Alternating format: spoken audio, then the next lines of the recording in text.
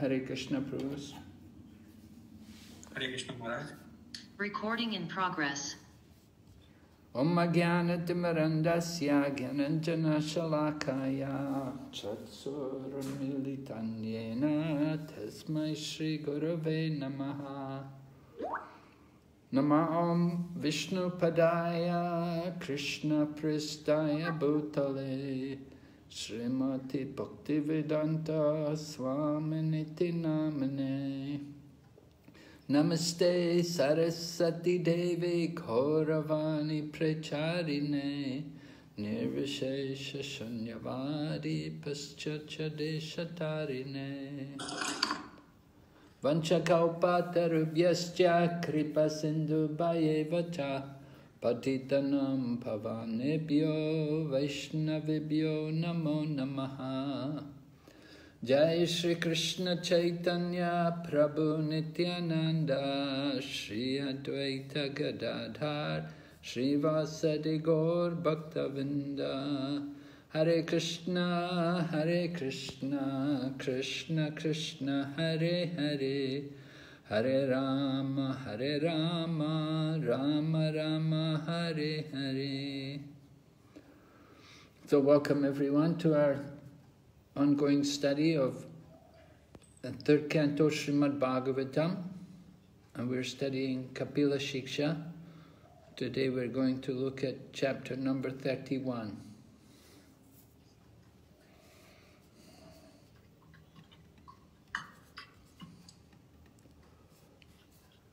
Okay, everyone can see the PowerPoint? Yes, Maharaj. Yes.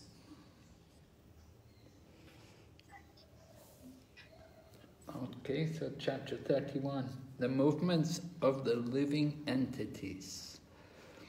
So you'll remember chapter 30, we heard about the unfortunate conditioned soul working very hard and then giving up his body and take, being taken to Yamaraj. All right, we heard about him going to the court of Yamaraj to be punished, to be awarded the results of his past activities. So we want to begin this chapter today. We're going to look at this little song, song written for us by Srila Bhaktivinoda Thakur. Bhuliya Tomare, forgetting you. I'll just read the translation. O Lord, having forgotten you and come to this material world, I've experienced a host of sins and sorrows. Now I approach your lotus feet and submit my tale of woe. So, Srila Bhaktivinoda Thakur is describing position of the conditioned soul, the time of death, after quitting this material body. Well, he's describing here about his birth. While I was bound up tightly in the unbearable confines of my mother's womb, O Lord, you once revealed yourself before me. After appearing briefly, you abandoned this poor servant of yours. So Bhaktivinoda Thakur is describing the child in the womb, that somehow the child was in such a miserable condition, was suffering so much, the Lord appeared before him, but then quickly disappeared. At that moment, I thought, after my birth this time, I will surely worship you with undivided attention. But alas, after taking birth, I fell into the entangling network of worldly illusions. Thus I possessed not even a drop of true knowledge. So this is the unfortunate situation which often arises that although in the womb the child is in so much difficulty, suffering so much, that he prays to the Lord to be delivered. But then after taking birth,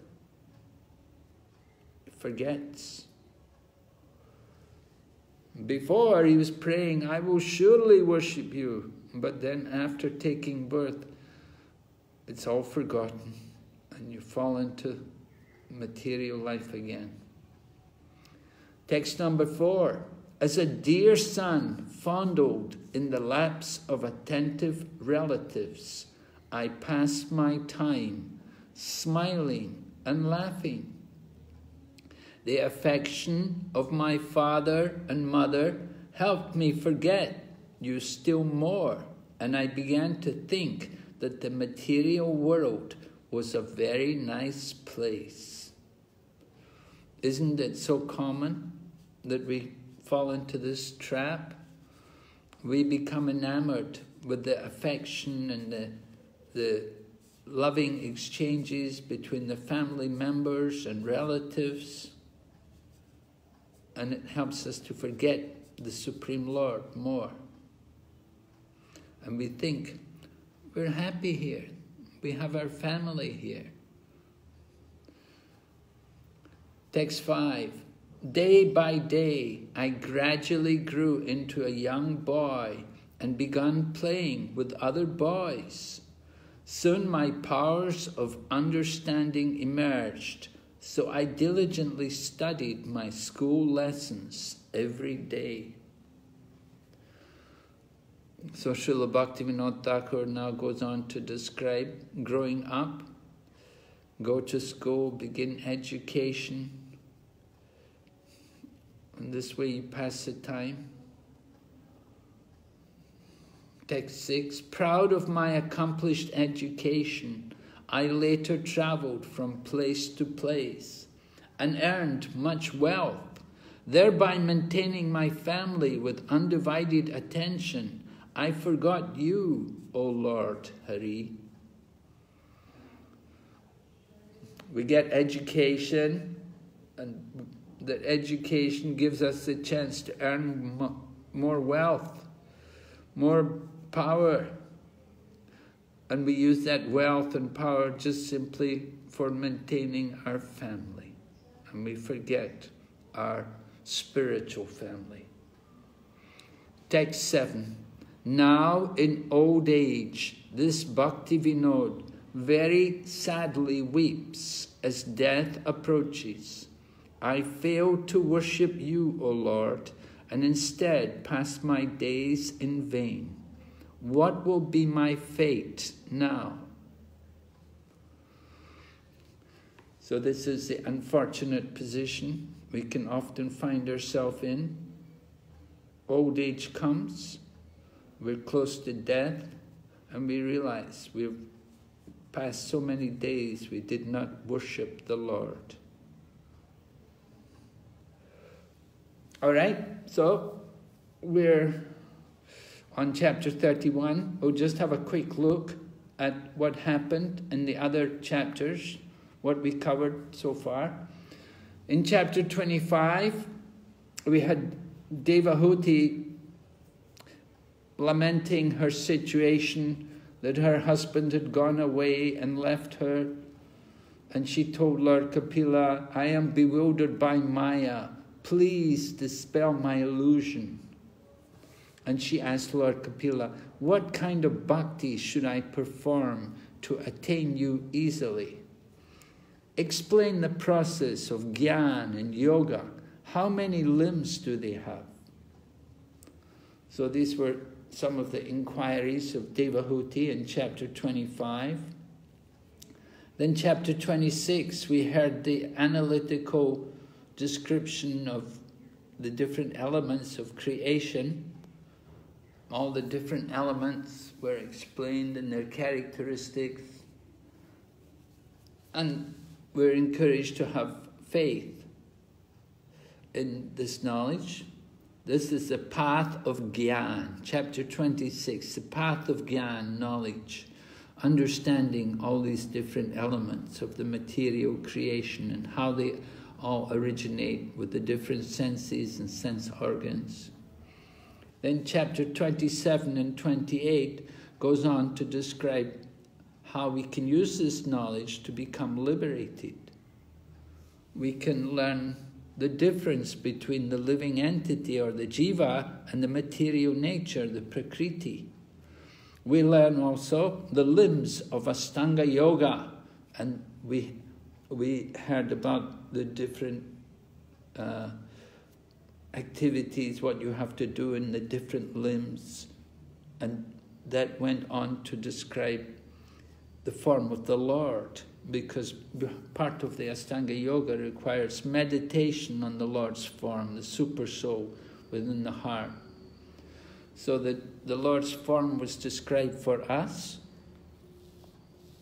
Then chapter 29, more inquiries by Devahuti. She wanted to know about the path of bhakti. What is this path of bhakti? Describe it to me. So it was described. We heard about bhakti in the modes, and we heard about pure bhakti.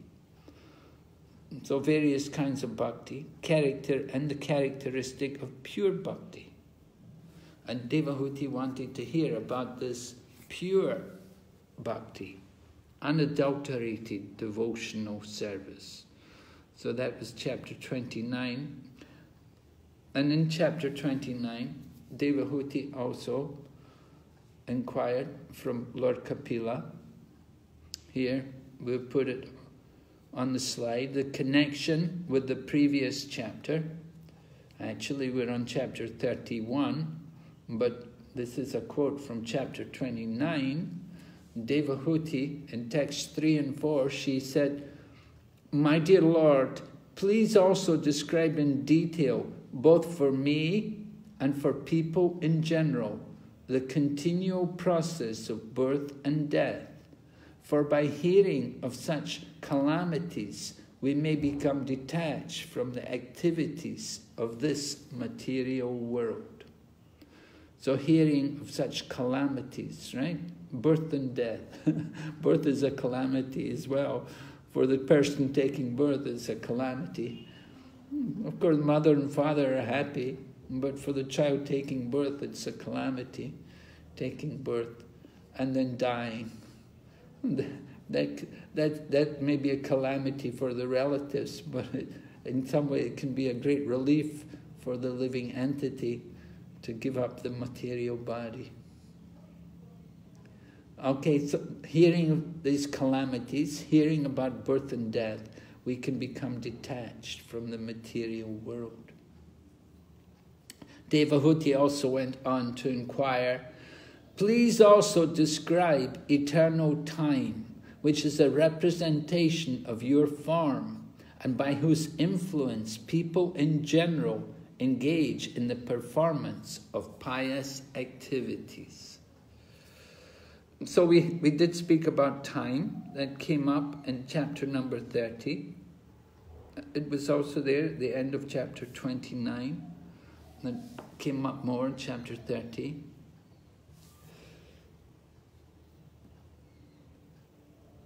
Now, this chapter, we're going to hear about the living entity, how he's moving in different forms of life.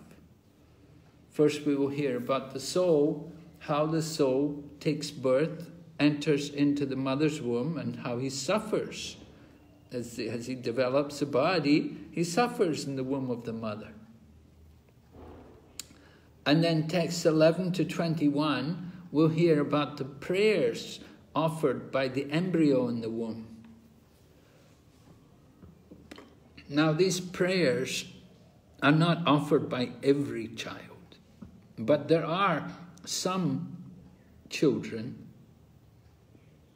some children pious children who are, you know, have that tendency to pray to the Lord, then when they're in the womb of the mother, they may pray. Not all children will do that, though. that sometimes it's misunderstood. Sometimes we think all the children in the womb pray. Not true. Then text 22 to 31, we'll hear what happens after the child takes birth. After coming out of the womb, how while he's in the womb he's praying to get out, but when he gets out, forgets. Forgetfulness comes, just like we just read Bhaktivinoda Thakur's song, forgetfulness comes after birth. And then we will hear about the danger of bad association. It's a very important point. Association, so important. We have to know what is good association and what is bad. So that's text 32 to 42.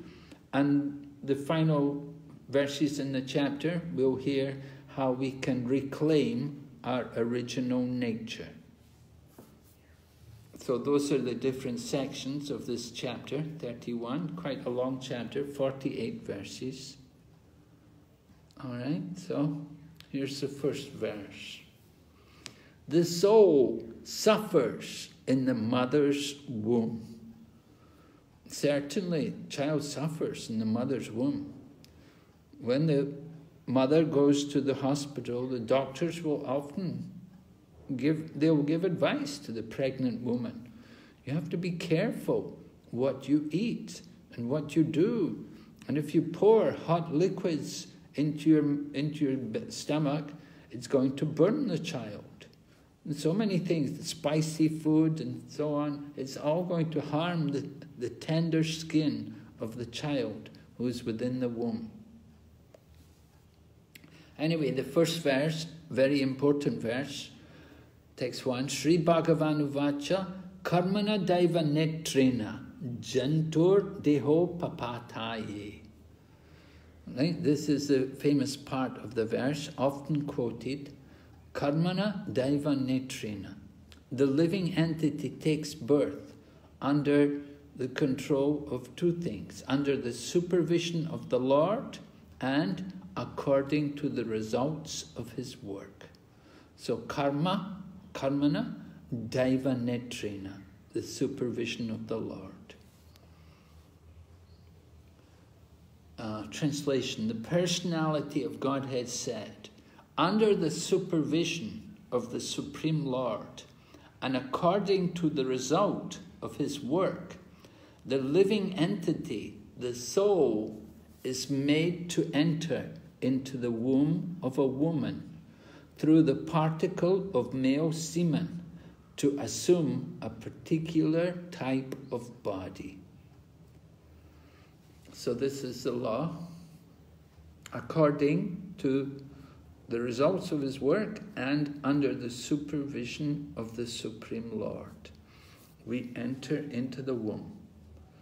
All of us, we took birth in that particular manner according to karma and daiva netrena.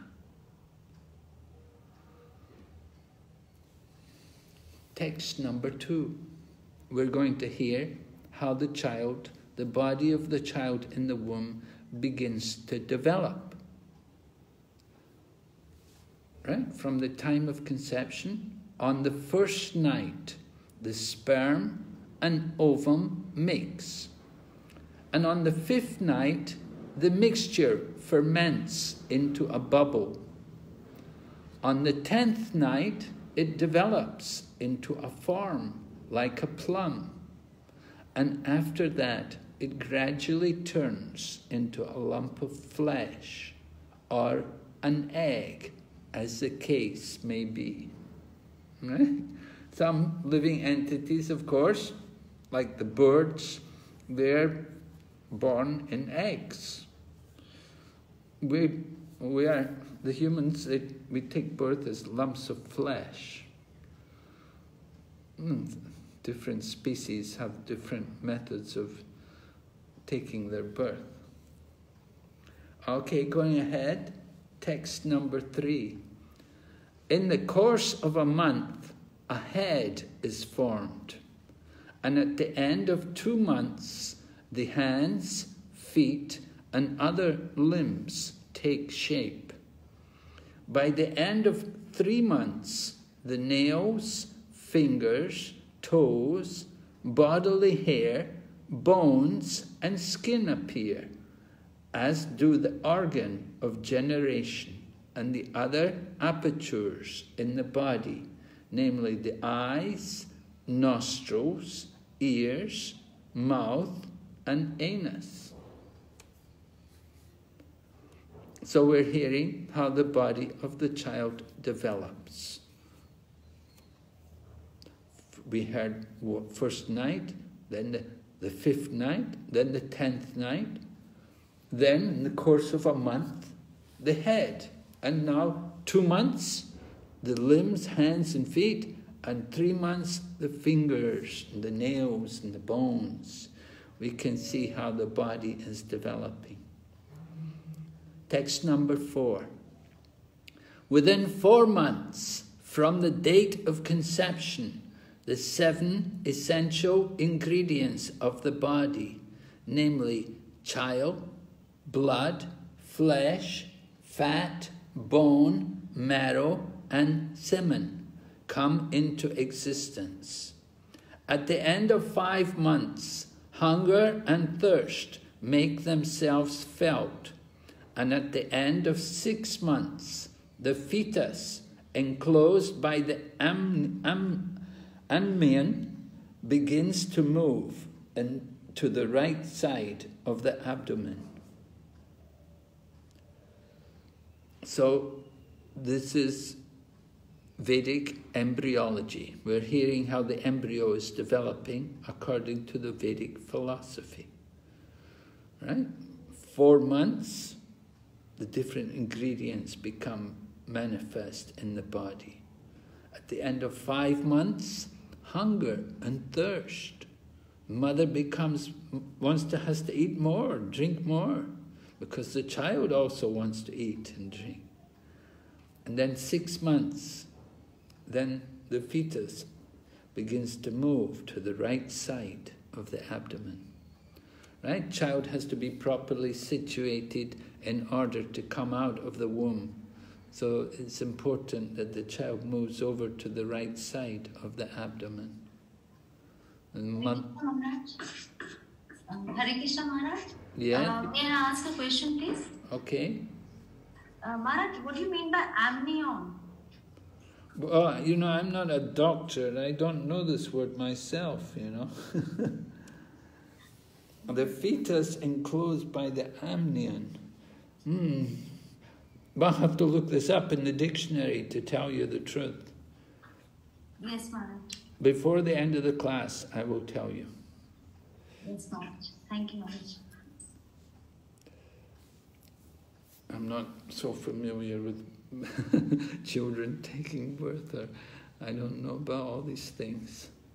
All right? But it says in the dictionary that amnio means the innermost membrane that encloses the, the embryo of a mammal, bird, or reptile. Is a membrane, innermost membrane. Innermost membrane. That encloses the embryo of a mammal, bird, or reptile. Oh, it doesn't say human, huh? No, it doesn't say human. That's, Oh. that's the dictionary meaning. Oh, Hare Krishna. yes? Amnion is a s- sac, in which fluid in which the embryo lies. Embryo is being protected by the amniotic fluid. The Yeah. amnion is sac. That's what it says here. It said the embryo is enclosed by the amnion. Huh. Is sac. Okay. So that's it. Your, that's your knowledge, or that's from a dictionary, Prabhu? Uh, I'm a Dr. Maharaj. Huh? I'm From a Prabhu is a Dr. Oh, you're a doctor. I see. Okay, then you should know, right? Yeah. okay, very good. Thank you, Prabhuji. Uh-huh. Mm-hmm. Thank you, Prabhu. Good to have you here. so doctor knows. And so the yeah the the, the embryo is con- enclosed at the end of six months. The fetus, enclosed by the amnion, begins to move to the right side. Okay, And so this is important for our preaching. It shows something of the creditability of the Vedic knowledge that there's very close similarity between the Vedic evidence and modern medical science. They, they pretty much agree with each other.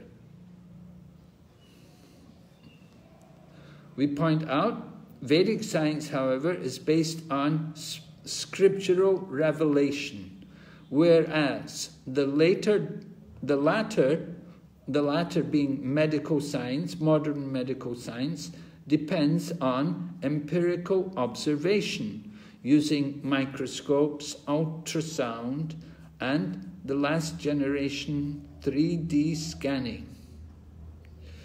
Okay, so modern medical science can confirm the Vedic version. Thus, the advancements of modern technology, which broadens the limits of human sensory perception, simply come to confirm the authenticity of Vedic revelation. So, yes, Vedic revelation, the Vedic knowledge is, is confirmed with the advancement of technology. They're finding what the Vedas say is actually true. There's nothing wrong in the Vedas, it's perfect knowledge. The medical, it's just sometimes our knowledge is not up to date. But in course of time, it all becomes clear. It all becomes confirmed. All right? So what about the condition in the womb? Suffering in the womb. Text 5 continues. Text 5 of our chapter 31 continues. Deriving its nutrition from the food and drink taken by the mother, the fetus grows and remains in that abominable residence of stools and urine, which is the breeding place of all kinds of worms. We can understand it's not a very pleasant place to be residing for so many months. But this is a the law of nature, the fetus is put into this condition. In the womb of the mother, he has to remain there. And that place is full of stools and urine. And all kinds of worms are breeding there. At the same time, the mother is taking food and drink. It's all coming in there, so the child is in that unfortunate condition. Text number six continues Bitten again and again all over the body by the hungry worms in the abdomen itself, the child suffers terrible agony because of the tenderness. Tenderness of the skin of the child. Because the worms are biting its tender skin, so the poor living entity is really suffering. He thus becomes unconscious moment after moment because of the terrible condition. So, because of the terrible condition, he's suffering. It's all suffering. He didn't take birth yet, is suffering. We're thinking, sometimes we think, oh, the suffering begins when you take birth, but even before birth, suffering. From the time, just the time entering into the womb. It's described here. Terrible agonies. Because he's being bitten by these worms. And certainly the worms are going to be there inside the intestines. So the child is in so much agony that sometimes he's conscious, other unconscious, moment after moment. Text number seven. Owing to. Uh, Hare Krishna Maharaj, can I ask a quick question, please? Okay. Uh, before I begin, Happy Vyasa Puja.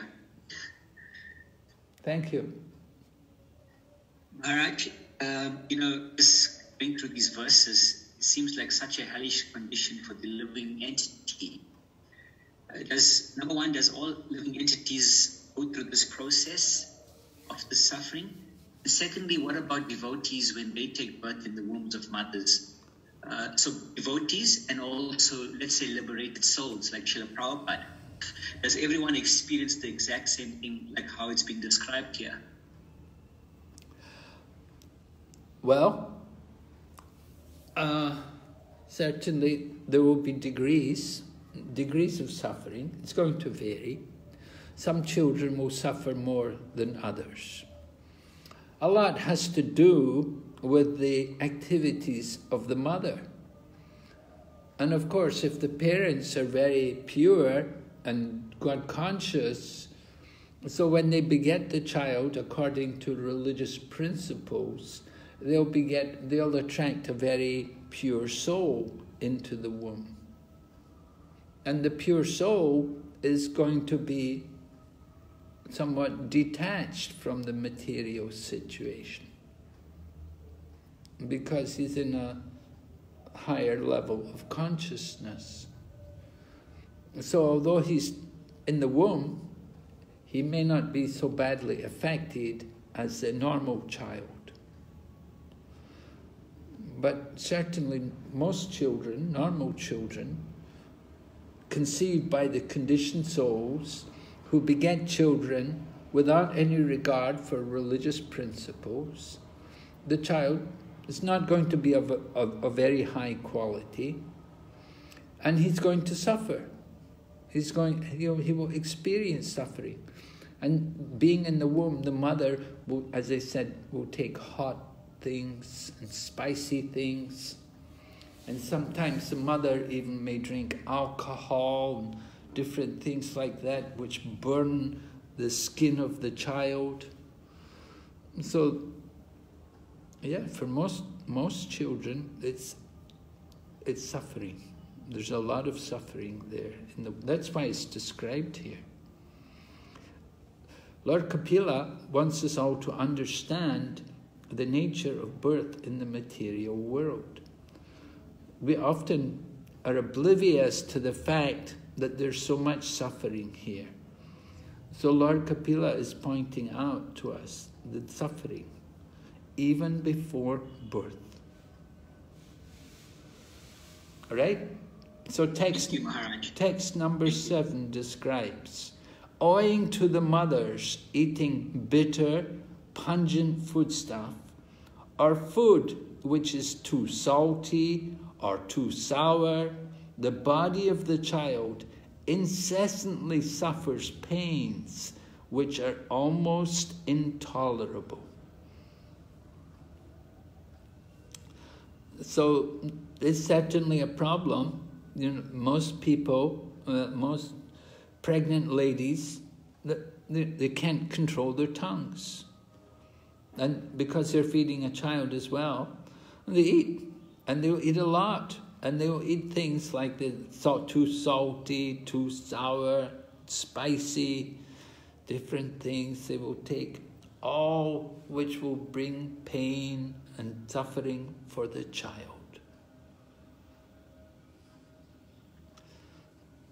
Because a newborn child, naturally the skin is very, very tender. And so these things, they'll just, they'll cause so much pain, so much misery for the child. Going ahead, text number eight. Placed within the amnion and covered outside by the intestines, the child remains lying on one side of the abdomen, his head turned towards his belly, and his back and neck arched like a bow. All right? So you can just imagine the position. He's laying on one side of the abdomen, his head turned towards his belly. Okay, put the head down on the belly. And his back and neck arched like a bow. It's not a very pleasant condition. And you're covered. Text 9. The child thus remains just, just like a bird in a cage without freedom of movement. At that time, if the child is fortunate, he can remember all the troubles of his past 100 births and he grieves wretchedly. What is the possibility of peace of mind in that condition? Oh, so the description is there like a bird in a cage without freedom of movement. So the child in the abdomen is like that. Very difficult to move at all. But if, if he's fortunate, now, as we said, some children are fortunate. It will depend on their samskars, and that will, you know, that their parents' behavior will be also uh, uh, that will be related to the quality of the soul who is attracted into the womb. So if the child is fortunate, the child can remember all the troubles of his past 100 births. Oh, so you can understand how many births we have taken in this material world. So many births we have had. We don't remember any of them. But apparently, at this time, when the child is there in the womb, he can remember and he grieves very, un, very regrettably. So, no possibility of peace in that condition. Text number 10. Thus endowed with the development of consciousness from the seventh month after his conception, the child is tossed downward by the airs that press the embryo during the weeks preceding delivery. Like the worms born of the same filthy abdominal cavity, he cannot remain in one place. So consciousness is developed there within the body of the child from the seventh month after his conception. And then the airs toss the child down, getting ready for delivery. Of course, only seven months. It's going to be a, a couple of months before the child's going to be delivered.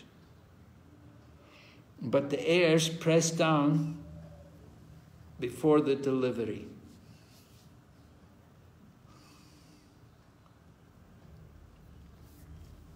after birth, the child may forget about the difficulties of his past life. But when we are grown up, we can at least understand the grievous tortures undergone at birth and death by reading the authorized scriptures like Srimad Bhagavatam. If we do not believe in the scriptures, that is a different question.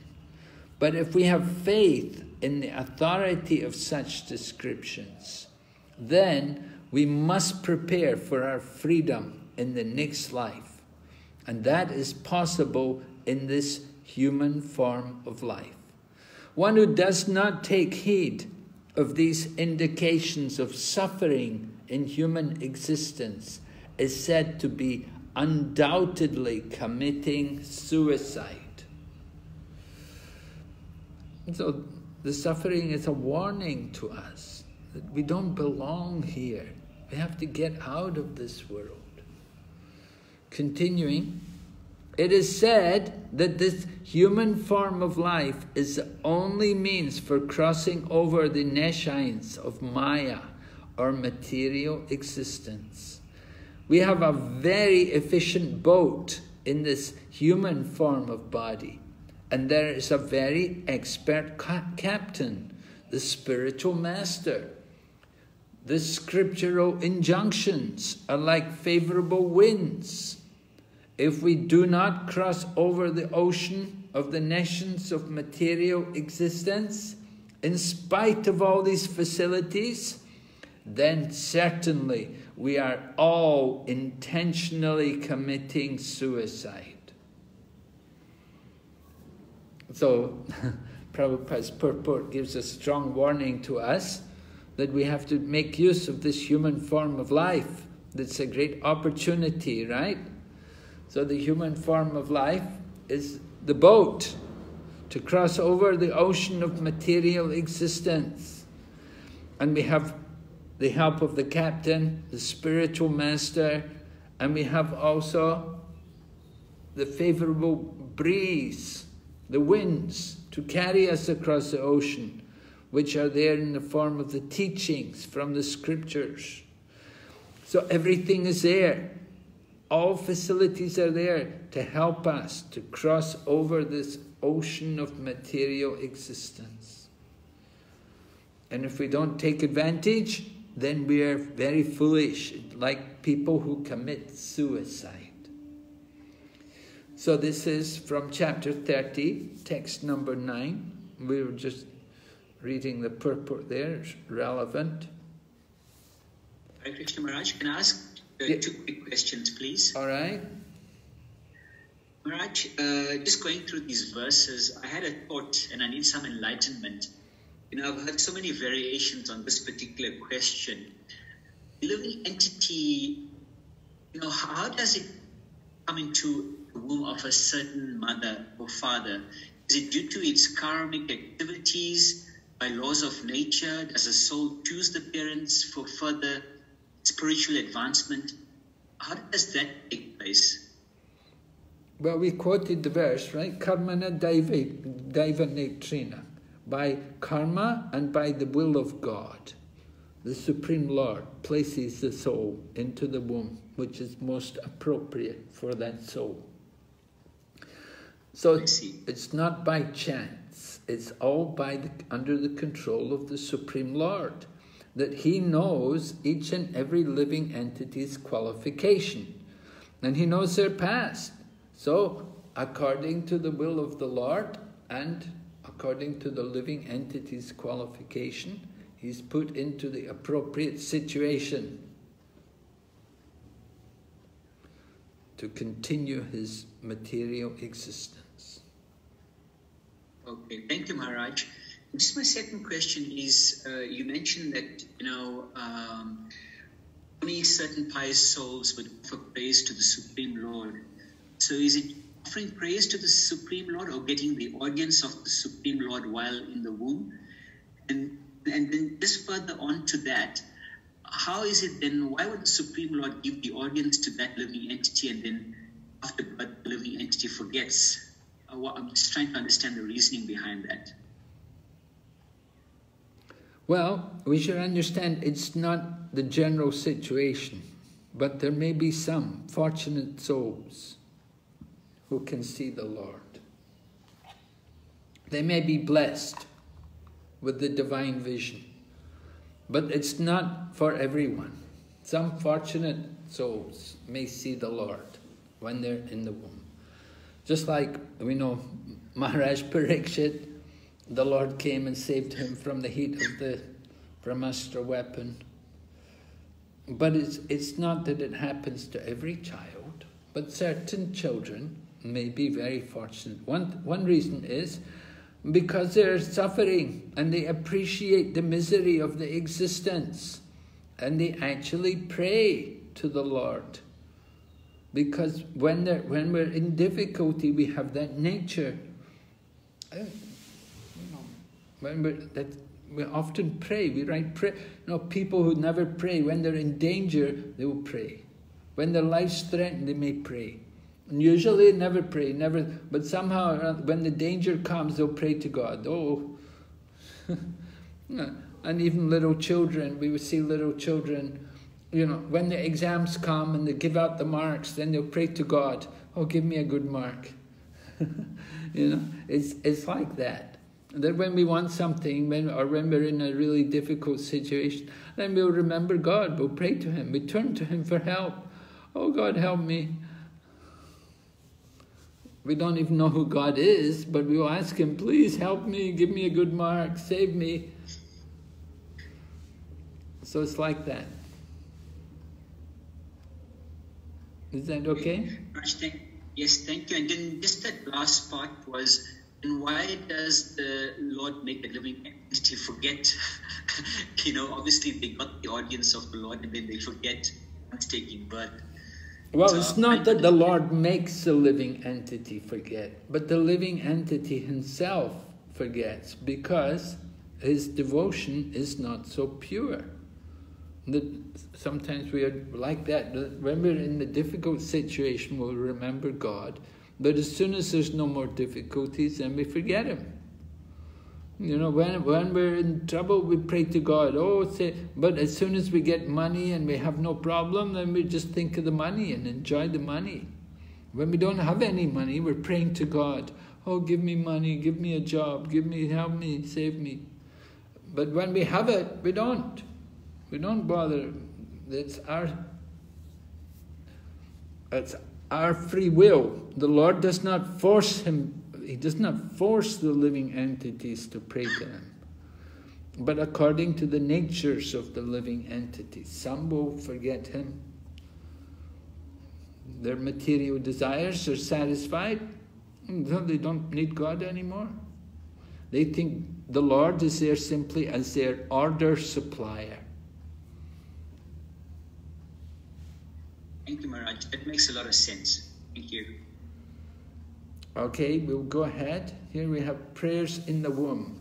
All right, so that we're up to text number, well, that was text number, the last one was text number 10, right? Yes?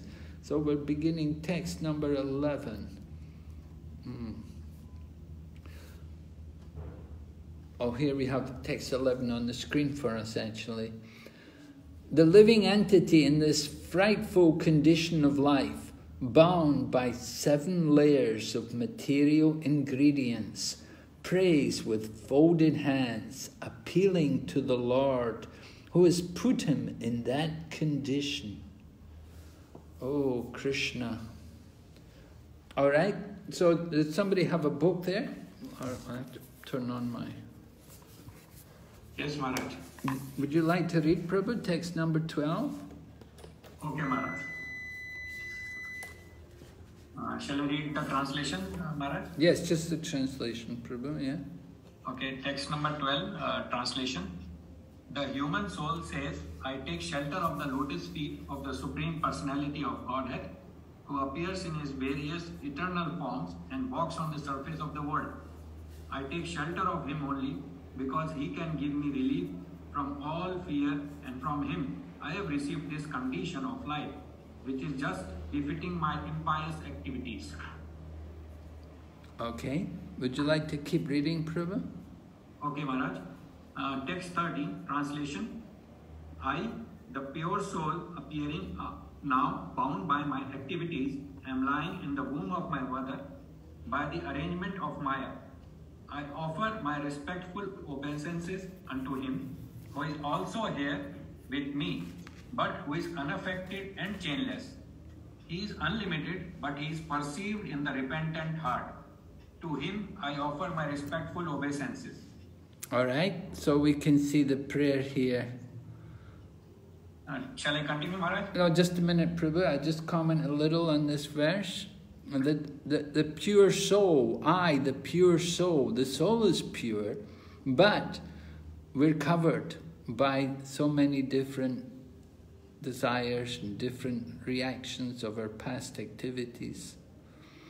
So we're now, as he says, I bound by my activities, laying in the womb of my mother by the arrangement of Maya. The arrangement of Maya, Maya is the energy of the Lord. We said karmana daiva netrena. By, by karma and by the will of the Lord. So the soul, this child in the womb, prays to the Lord, offers obeisances unto the Lord. And he says, The Lord is also here with me. So the Lord is there in the womb, but the Lord is not affected. He's unaffected and changeless. So we see the Lord can be, He's everywhere. He's also in the womb. He's not affected. He's, he's unaffected. He's unlimited. But He's only seen by the repentant heart. So repentance is a very important qualification. We have to regret that we have been very fallen and very sinful and we have to really want to change our heart. Okay? So we'll go ahead, Prabhu. Yeah, you want to keep reading, Prabhu? Yes, Maharaj. Uh, text uh, 14, translation. Yes. I am, I am separated from the Supreme Lord because of my being in this material body, which is made of five elements, and therefore my qualities and senses are being misused, although I am essentially spiritual. Because the Supreme Personality of Godhead is transcendental to material nature and the living entities, because he is devoid of such a material body, and because he is always glorious in his spiritual qualities, I offer my obeisances unto him. So we see this soul within the womb. The previous, previously, the previous verse said he was, the Lord was with him, but now in this verse, he's saying that the Lord is not here. He's saying, he say, I'm in the womb. the living entity admits he's in the womb, but but the Lord, he doesn't he doesn't recognize the Lord as he is always because the Lord. Well, what does he say? He said. Uh, the Supreme Personality of God, transcendental to the material nature, devoid of material body. Okay, and because he's always glorious in his spiritual activities, I offer my. So, oh, all right, yeah. Uh, so the living entities in the womb is covered by the material body.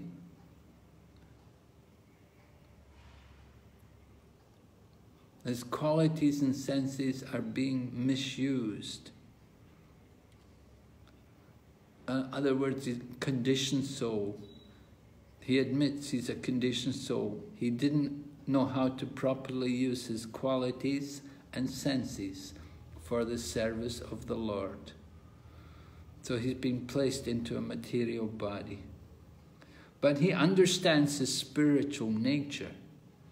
So, so you can understand this kind of soul is quite an advanced soul. He's taking birth, but he's quite advanced. He understands he's a soul. Okay, go ahead, Prabhu. Maharaj, may I ask one question, small yeah. question? Yeah, please. Yeah, Maharaj, in text uh, uh, 13, uh, the soul felt that there is a presence of the Lord, right? And in the uh, in the next uh, text, like text 14, he, he considers himself to be separated from the Lord. So how in one text the soul is finding Supreme Personality of Godhead with him and in the other text he is thinking that he is separated? Well, it could mean when the when the living entity is separated, it's like his his desire is separated from the Lord. He's not in oneness. He's not in harmony with the Lord. Okay, Maharaj. Understood, Maharaj. Yes. Thank you, Maharaj. Maharaj, sorry, uh, just a quick question, please. Yes. Um, mentions about the five elements. So, at what point does the five elements start forming body? In text two, it says that uh, you know on the fifth night, mixture ferments into a bubble. And then thereafter, uh, it says into a lump of flesh. So these five elements that our material body is made up of, at what point does it uh, start forming the body? Is it from the initial stage? Uh, from the initial, well, yes, that's what we heard. We heard the flesh. You know, the flesh comes on the body, it's very tender. And then we heard gradually the formation of the different limbs of the body, and then the fingers and so on, and the nails and hair. And then we heard how uh, the different elements also came into the body, and consciousness and came. So gradually, one after another, everything appeared. Right? Okay. Okay, Maharaj, uh, the super soul, Akshaya Vishnu, uh, is the, the super soul always with the living entity when it's in a material body or in the subtle body, or does the super soul come in to the heart when the body is being formed? Just trying to understand that. Well, the super soul accompanies the living entity. So when the living entity enters into that womb, the super soul comes with him. The super soul, of course, the living entity, he has to enter into that particle of semen and he has to develop the body. But the Lord, who is the, the super soul, he is not going to he's not going to change, he's not going to be taking a body or anything, but he accompanies the living entity. And together they're in the heart. The living entity is yeah, he's going to enter into the womb of the mother through the semen of the father. He enters into the womb of the mother, and gradually the body develops. So the soul is there, and along with the soul is a super soul. Throughout the, throughout the, the creation, throughout the development of the body, the super soul will be there. Yeah? Thank you, Maharaj. All right, that's text number. yes, Mataji? Maharaj, uh, please, could you, in this text number 13, this purport, uh, could you please explain this again? The individual soul becomes repentant, that he forgets, forgot his constitutional position, wanted to become one with the Supreme Soul, and tried his best to lord it over material nature.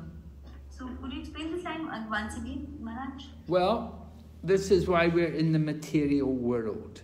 That we have the tendency that we want to lord over the material nature. Right? We're the, we're the prakriti of the Lord. But we, we're always struggling with the mind and senses.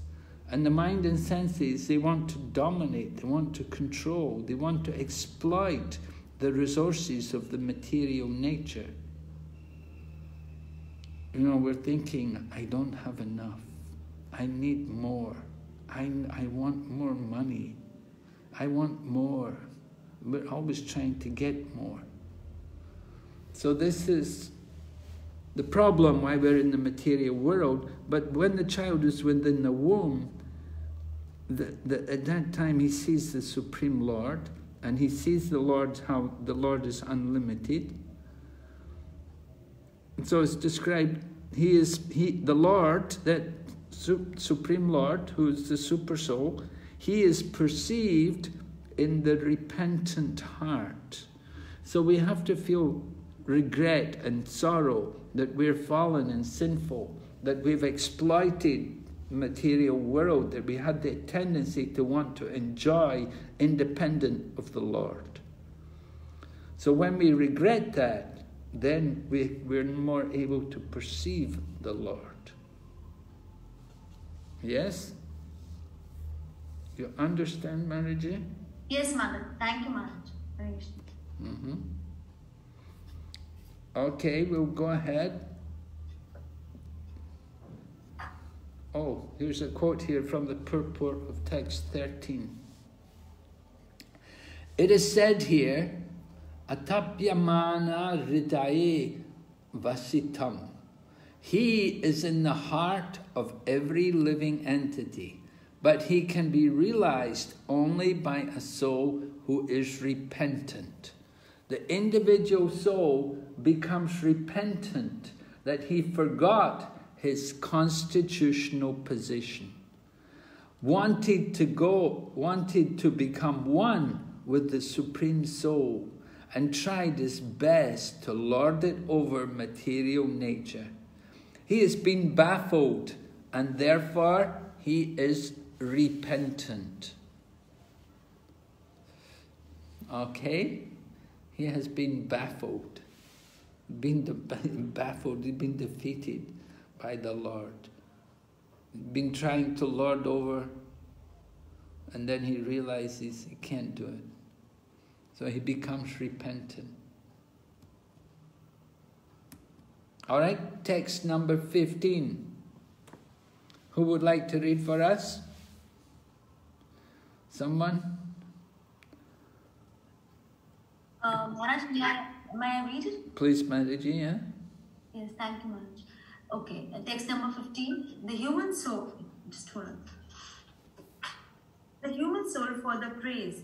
The living entity is put under the influence of material nature and continues a hard stru- struggle for existence on the path of repeated birth and death. This constitutional life is due to his forgetfulness of his relationship with the Supreme Personality of Godhead. Therefore, without the Lord's mercy, how can he again engage in the transcendental loving service of the Lord? Hmm. Okay, so the, the living entity is praying. It's a hard struggle for existence, the path of birth and death. So the, the soul in the womb is remembering the lives, the different struggles which he's had, previous lives, birth and death. And the, this conditional life is his forgetfulness of re- relationship with the Lord. Because we have forgotten Krishna, because we have forgotten our relationship with the Lord, because we've tried to enjoy and to exploit the material world, therefore we're in this condition. So without the Lord's mercy, how can he again engage in the transcendental loving service of the Lord? This is the problem. We need to have the mercy. Without the mercy of the Lord, then we cannot do service.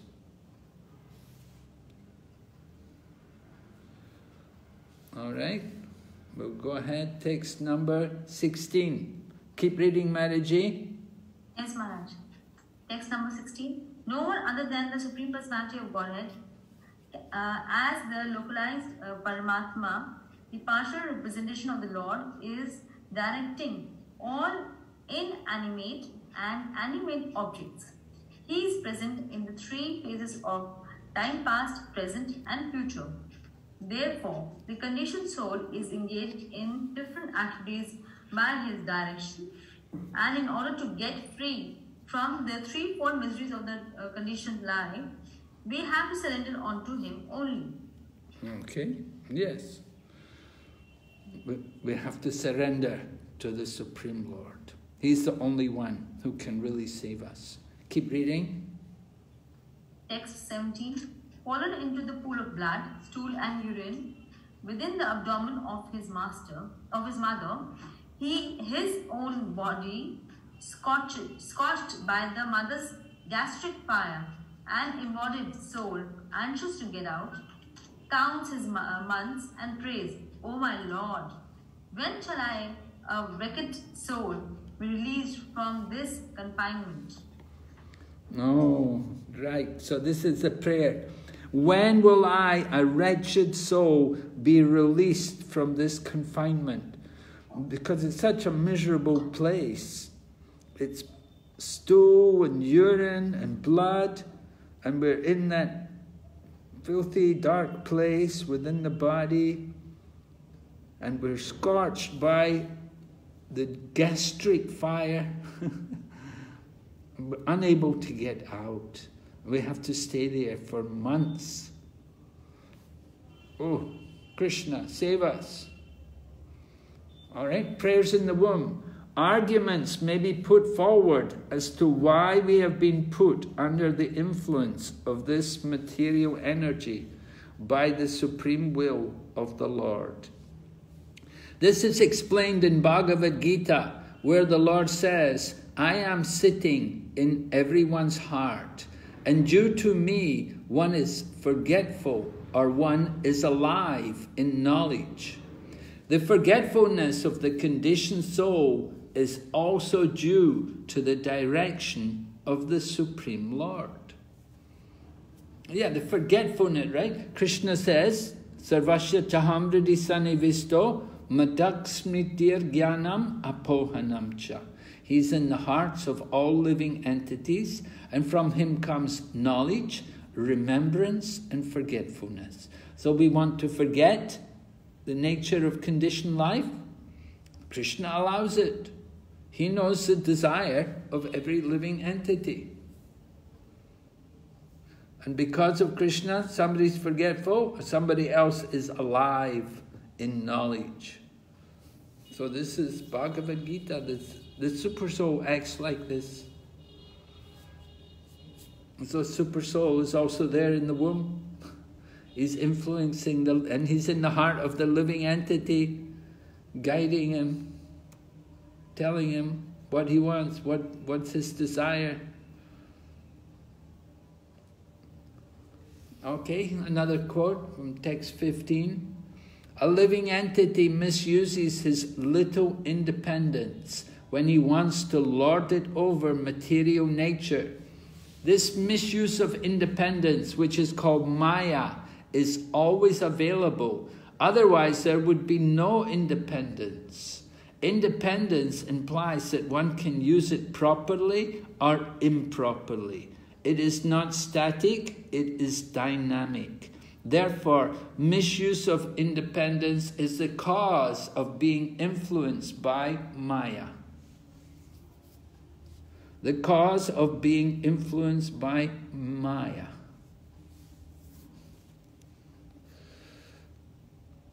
Misuse of our independence, right? We're given that little bit of independence and we misuse it we can use it properly or not.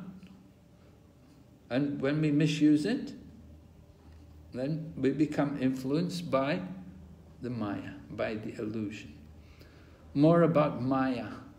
Maya is so strong that the Lord says that it is very difficult to surmount her influence.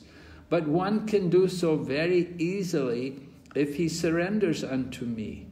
Anyone who surrenders unto him can overcome the influence of the stringent laws of material nature.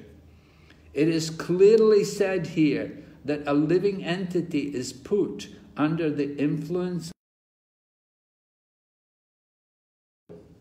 And if one wants to get out of this entanglement, this can be made this can be made possible simply by his mercy. All right? So this is the situation. Very difficult to get over Maya. Devahi Esha Gunamayi Mama Maya. Very difficult to overcome. Eh, but anyone who surrenders unto Krishna can overcome the. So if we surrender to Krishna, then we can do it. So the living entity is put under the influence of Maya by the will of the Supreme Lord. And if we want to get out of this, we have to get the mercy of the Lord. Why does Krishna put us under the influence of Maya? He understands our nature, our desire to be independent. More, text six, from text 16, as the super soul is seated within the heart of the living entity, and when the living entity is serious, the Lord directs him to take shelter of his representative, a bona fide spiritual master. Directed from within and guided externally by the spiritual master, one attains the path of consciousness, which is the way out of the material clutches, and one's life is blessed. So, this is part of surrender to Krishna that we have to take the shelter of a representative of Krishna, and under their guidance, they can help us to get free from the material clutches. Okay, we'll go ahead. Text number 18. Who would like to read? Krishna Maharaj, can I read? Please, Prabhu. 33180. My dear Lord, by your causeless mercy, I am awakened to consciousness, although I am only 10 months, 10 months old. For this causeless mercy of the Supreme Person of Godhead, the friend of all fallen souls, there is no way to express my gratitude but to pray with folded hands. Okay. So now, 10 months old, 10 months have passed from the time of conception. So it's coming to the. Definitely, child is ready to come out of the womb. So he's awakened to consciousness and the, the living entity describes his gratitude to the Supreme Lord.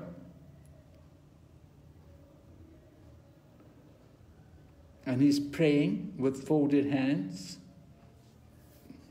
for the mercy of the Lord. Okay? Yes? Go ahead. Krishna, May I ask one question? Yes? Maharaj, actually, when the child is born, uh, then he has uh, less uh, developed consciousness. He cannot speak and he cannot, I mean, uh, he, he does not have that much consciousness to understand who is the Lord and how he can make these kind of elaborate prayers and he can understand his repentant nature because of his misuse of independence. So, that kind of uh, brain development or intelligence development is, is it having so that these kind of elaborate prayers he may do in the womb Well, we have to understand that the, the consciousness of the living entity is there with the soul, right? It's not depending on the material body. The consciousness is carried from the previous life. That consciousness which we had developed over many lives in the material world. So that consciousness accompanies the soul. Certainly, it's a symptom of the soul. It's a consciousness which is a symptom of the soul. As the sunlight is the symptom of the sun, consciousness is the symptom of the soul. And so, to, to offer prayers to the Lord and to remember the, the relationship with the Lord, it is not material. It's coming due to the consciousness which the living entity had acquired. Yes, Maharaj. So basically, uh, when he's uh, when the soul is in the womb, it is in a kind of a spiritual consciousness, and when he's outside the womb, he is entrapped into the material consciousness. Well, the soul, it, it's not that the soul is in. Uh, the soul is always pure, but at different times it's covered. And you think certainly, as we hear, when the soul takes birth, the living entity becomes enamored by the material energy, and he forgets his spiritual position. It's like that, that when he's in the womb and he's in great difficulty, he's praying to the Lord. Oh, just get me out of here. Certainly I will worship you. But as soon as we get out, oh, it's so easy to forget. Yes, Maharaj. Thank you, Maharaj. We will be hearing what happens to the living entity. Now he's in the womb and he's suffering and he's praying to the Lord. I will certainly worship you, just let me out. He's suffering so much difficulty, very cramped conditions, and not pleasant at all. A lot of suffering, worms are biting the tender skin, and the mother also, she's feeling also difficulty. She wants to eat things and drink things which are going to harm the skin of the child. So the child in the womb is really in a difficult position there. And he's praying to the Lord. Some fortunate ch- children pray to the Lord. But, but when he gets out, then it's, it's real easy to forget again. Okay, keep reading. Okay. Sorry, Maharaj, just a quick question if that's okay. okay. So, Maharaj, this subject matter is a bit foreign to me, I'll be honest, as well. Uh, here it's saying in verse 18, although I am 10 months old, uh, but as far as my knowledge, seeing from other people, you know, takes place at nine months or earlier. Like, by whose arrangement does that birth also take place? Is it by the Lord when time has come for the child to take birth? Because sometimes we even find that, you know, parents arrange with the doctors prematurely, prematurely uh, for the birth to take place of the child. So I'm just trying to uh, figure this out because here it's saying 10 months, but I know normally it's nine months or even earlier. Well, Chaitanya Mahaprabhu was in the womb for many months before took birth. He was in the womb, I think it was 14 months before he took birth. And he was waiting, and his, uh, the, the father of Sachimata, Nilambara Chakravarti, he was a great astrologer, and he understood that the child was waiting for an auspicious time to take birth. So sometimes it's like that. And you, you see also Lord Krishna also, he was in the womb for some time before taking birth. It wasn't, I think it was more than the usual time. So, yeah, and Sukadev Goswami, he didn't want to come out, right? Sukadev Goswami was in the womb for six, 16 years. And then you have also when Diti was pregnant with Hiranyakashipu and Hiranyaksha, she kept them in her womb for a long time, I think a hundred years or something, before she gave birth. so, so there are a lot of different cases. Okay, and Maharaj, then regarding like ordinary living entities like myself, you know, uh, how, who determines at what time or what particular date the living entity takes birth? Is it preordained? Is it by the Lord's arrangement? Well, and it's time for this. Everything we said karma and daiva netrena. Yes, by according to our karma and the laws of the laws of nature, the will of God and the laws of nature. These two things. Thank you, Maharaj. Of course, nowadays people do things like cesarean operations and so on. And sometimes even people, they'll wait, they'll pick up a particularly auspicious time and say, this is when I want my child to be brought out the womb, you know. They'll calculate very, you know, it's not done a, a proper way, but they, they try to take advantage.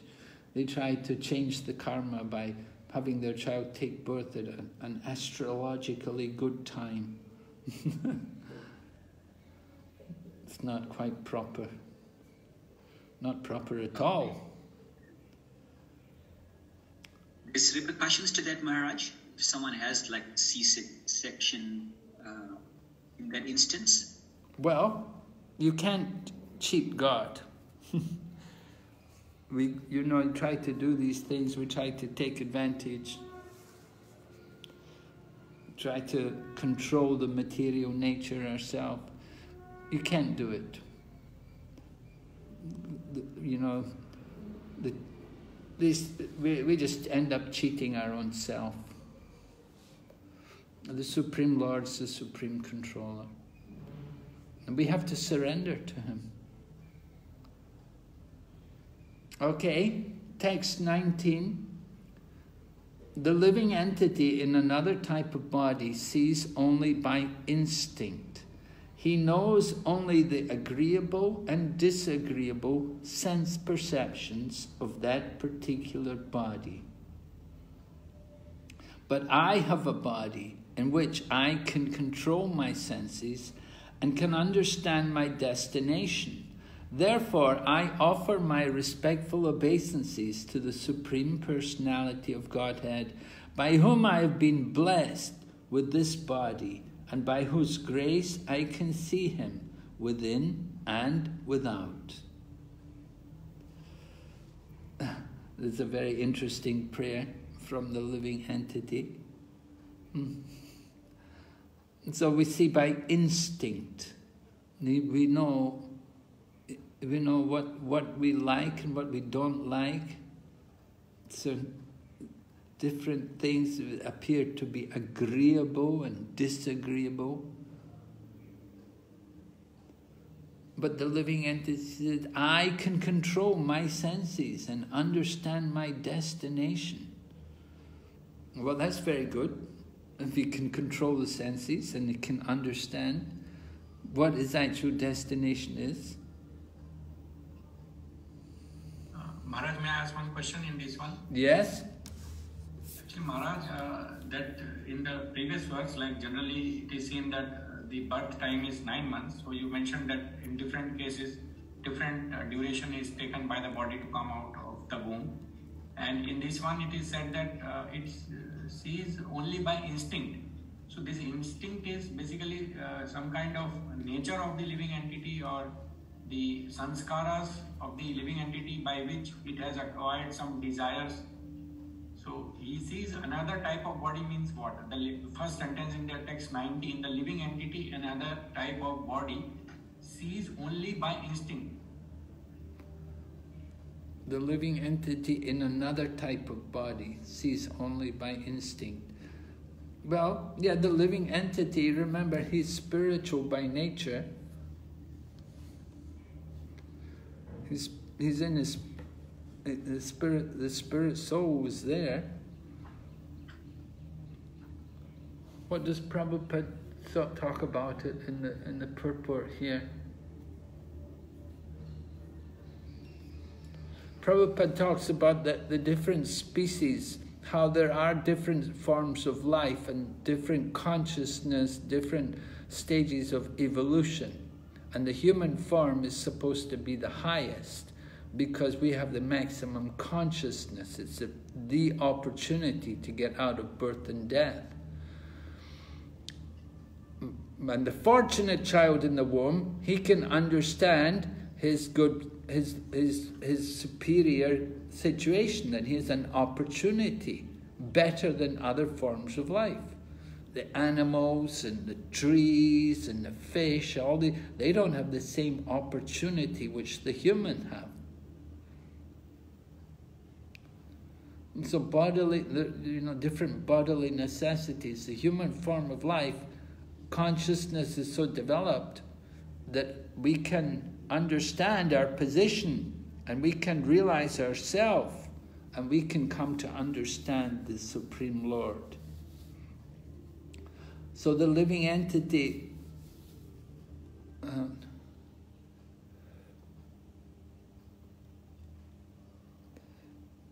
Prabhupada talks about, he comments about the, how the living entity said he can control the senses and the mind. So, material life is a problem if you can't control the mind and senses. Prabhupada said we should feel we should feel grateful to Krishna for having been given a human body.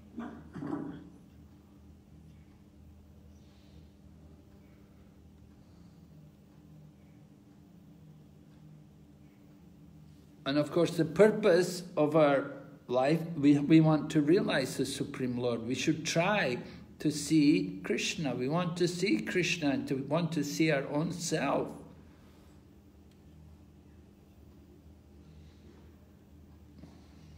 We don't want to think that we're the Supreme. We want to see ourselves different from Krishna. We are part of the Supreme, but at the same time different from Him. Uh-huh.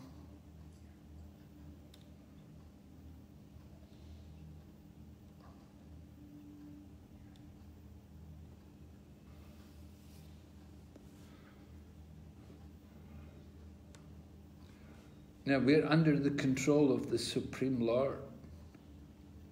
And the living entity, you can see in his prayers, he understands that.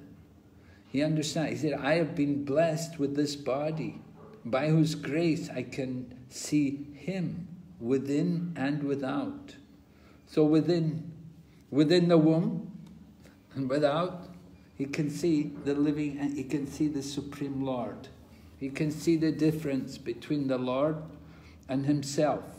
There's the Lord who's the master, and there's the living entity who's his servant.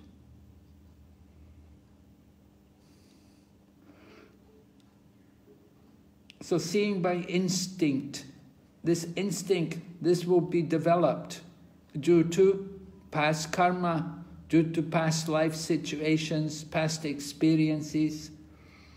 Different living entities will have different experiences, they will develop different kinds of instinct. according to our instincts. You know, somebody, what is agreeable and what is disagreeable. Just like we are, as vegetarians, you know, if somebody offers us something which is non vegetarian, it's not agreeable to us. And that we can carry that perception with us in the next life. You know, to, to have to eat something which is just not agreeable. There's some some people, you know, from from their childhood, they just cannot they cannot look, they cannot take things like meat or, or uh, impure foodstuffs. They've developed that kind of taste. And the same way with, with activities like being honest and being immoral or being moral, being religious, these things are coming due to develop consciousness from previous lifetimes. Yes, Prabhu. Uh, yes, Maharaj. So what you are saying is that it is by our previous natures or our likes and dislikes based on our past experiences. Yes. We have developed certain likes and dislikes, and that is what it is coming out here. Yes, right. Thank you, Maharaj. Going ahead, text number 20. Therefore, my Lord, although I am living in a terrible condition, I do not wish to depart from my mother's abdomen to fall again into the blind well of materialistic life. Your external energy, called Deva Maya, at once captures the newly born child and immediately false identification, which is the beginning of the cycle of continual birth and death, begins. So, the living entity, I don't, he says, before he was praying to get out, but now he's saying, I don't wish to leave. He said, although I'm living in a terrible condition, I don't wish to depart from the abdomen because he's so afraid of the material energy, the, dark, the blind well of material life, the external energy, the Deva Maya captures a newborn child. So this is this is the interesting thing about the prayers in the womb. That initially he's praying to get out, but then he changes. When it comes time to go out, he doesn't want to go out because he realizes the dangers, the problems which are there in taking birth in the material world. Text 18 This prayer of the child in the womb may be questioned by some atheistic people. How can a child pray in such a nice way in the womb of his mother? Everything is possible by the grace of the Lord. The child is put into such a precarious condition externally, but internally he is the same, and the Lord is there. By the transcendental energy of the Lord, everything is possible.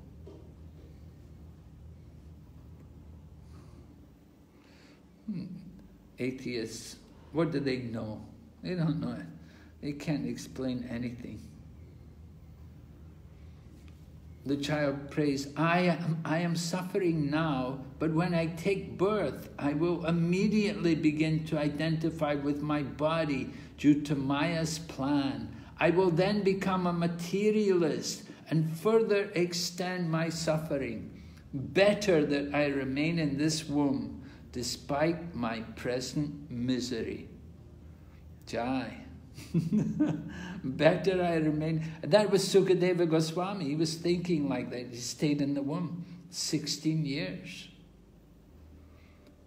Then text 21. Therefore, without being agitated any more, I shall deliver myself from the darkest darkness of nescience with the help of my friend clear consciousness.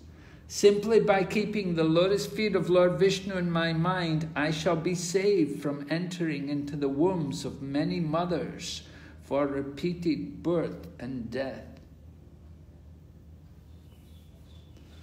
And then from text 21 one does not need any material arrangement to cultivate consciousness.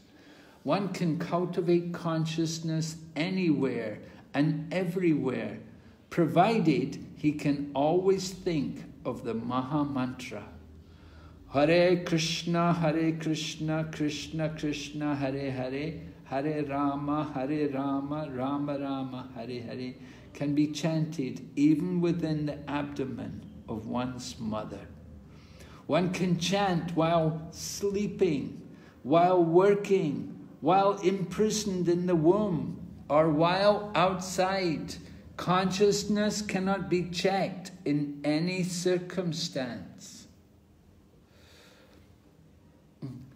This is uh, Lord Kapila's description of the living entity, movements of the living entity, how we are taking birth in different conditions.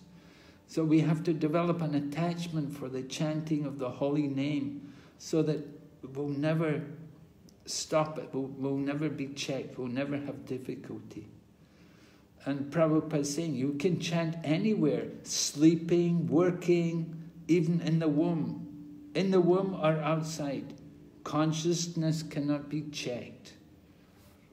So we want to keep chanting, it's very good for us.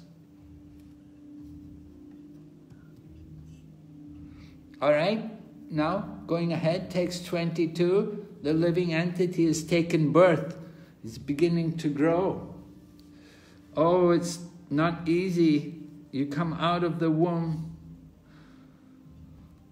Lord Kapila continued, text 22. The 10 month old living entity has these desires even while in the womb.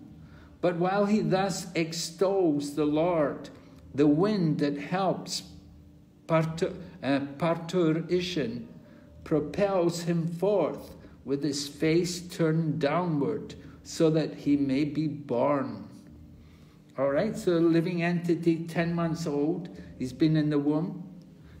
And sometimes people say, we don't believe children in the womb are alive. They only take birth when they come out the, the womb. But from the time of conception, life is there. It is just not developed very much. Anyway, after 10 months in the womb, the child is ready to take birth, and he comes out, and the wind pushes the child down, his face turned downwards, so that he come, comes out of the womb. Pushed down, right? Coming out head first. All of a sudden, by the wind, the child comes out with great trouble, head downward, breathless, and deprived of memory due to severe agony.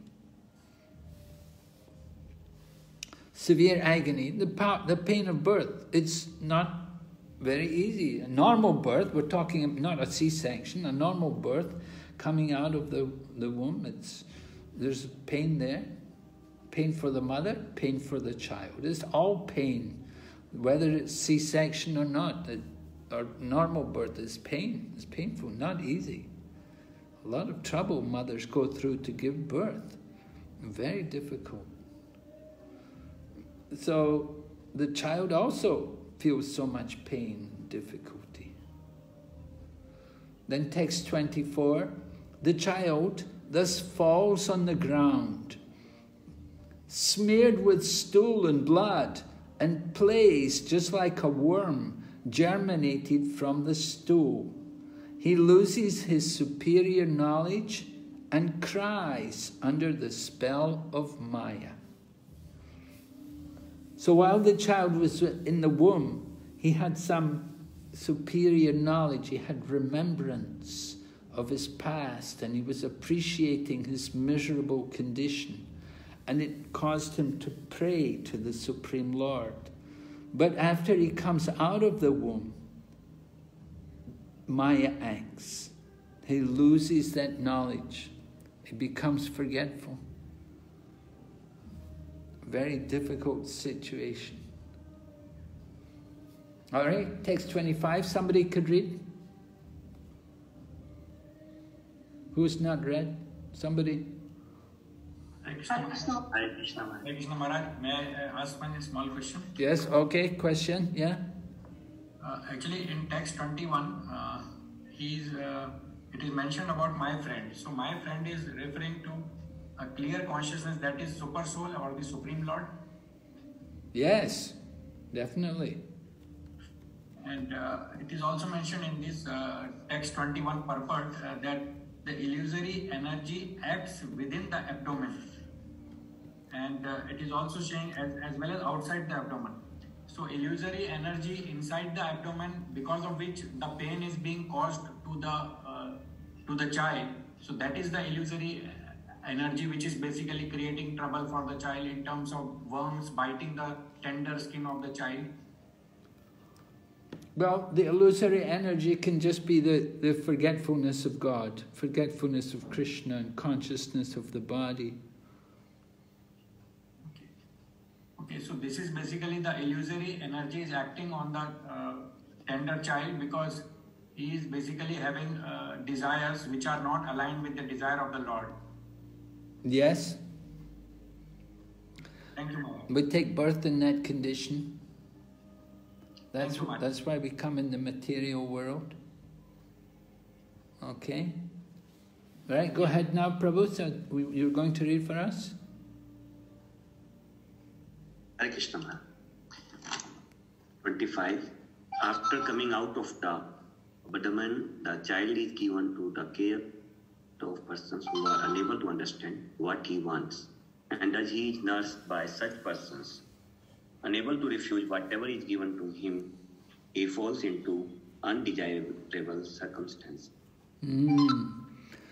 So the child comes out of the womb and he's given to persons who are unable to understand what he wants. right? The child can't, hasn't learned to communicate. And so he's nursed, he's taken care of it. Sometimes, the, sometimes they want to feed the child, the child doesn't want to eat. Sometimes the child has got some pain, the, the, the child cannot tell the, the mother, I, I've got this pain, I've got this stomach pain, I've got problem. This is the problem the child undergoes at the time of birth. And the child, the mother will give medicine. Oh, the, the, my child has got some problem. The mother will give medicine to the child. The child doesn't want the medicine, but he can't refuse. The mother forces it into the child. In this way, this is the undesirable circumstances. There's no communication with the birth. Go on reading, Prabhu. Uh, 26. Laid down on a fold bed infested with sweat and germs, the poor child is incapable of scratching his body to get relief from his itching sensation, to say nothing of sitting up, standing, or even moving. Mm-hmm.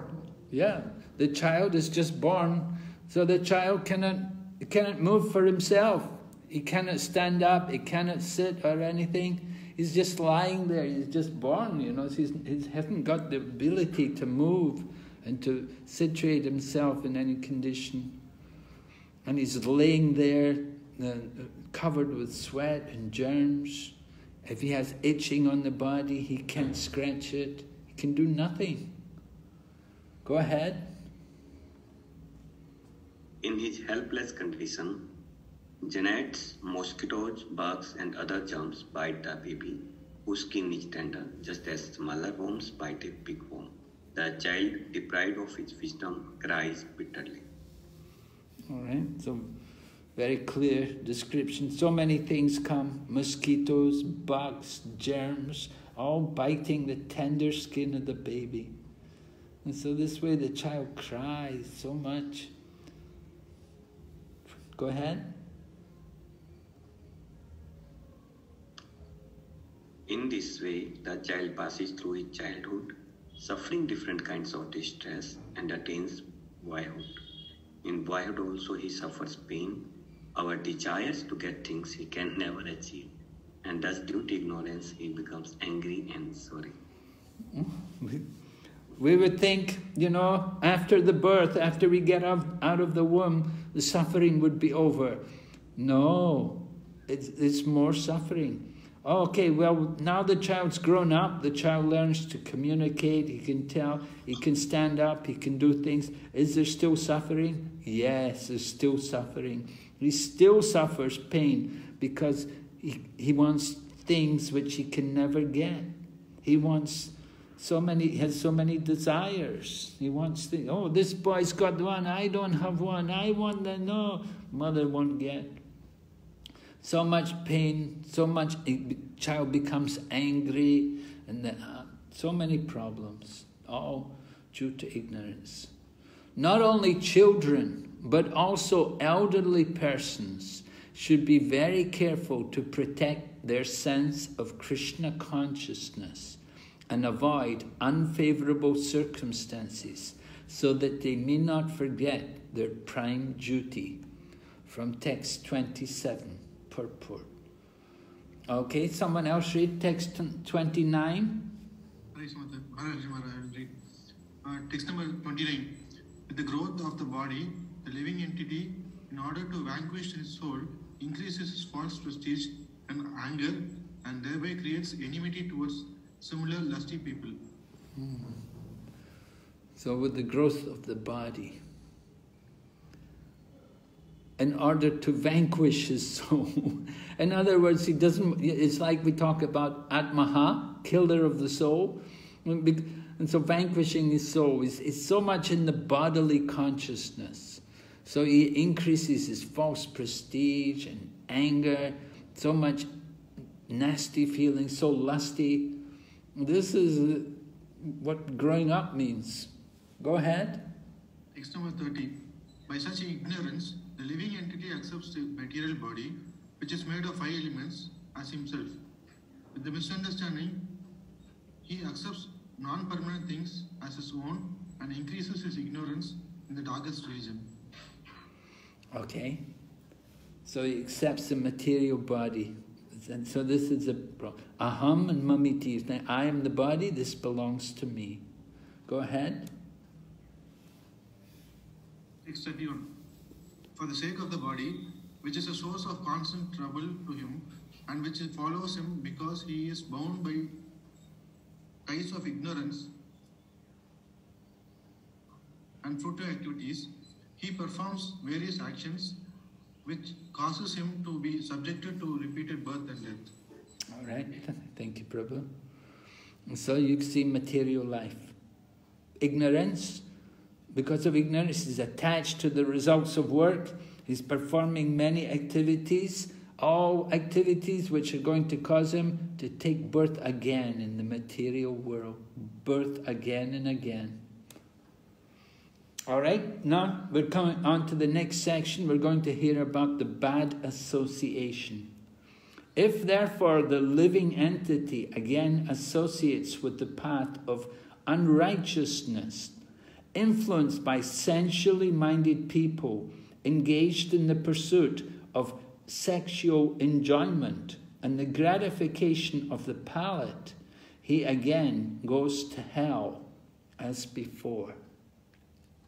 So the path of unrighteousness, meaning uncontrolled senses, particularly a desire to enjoy the opposite sex and to satisfy the belly by eating all kinds of impure foodstuff, one who aspires to reach the culmination of yoga and has realized his self by rendering service unto me should never associate with an attractive woman.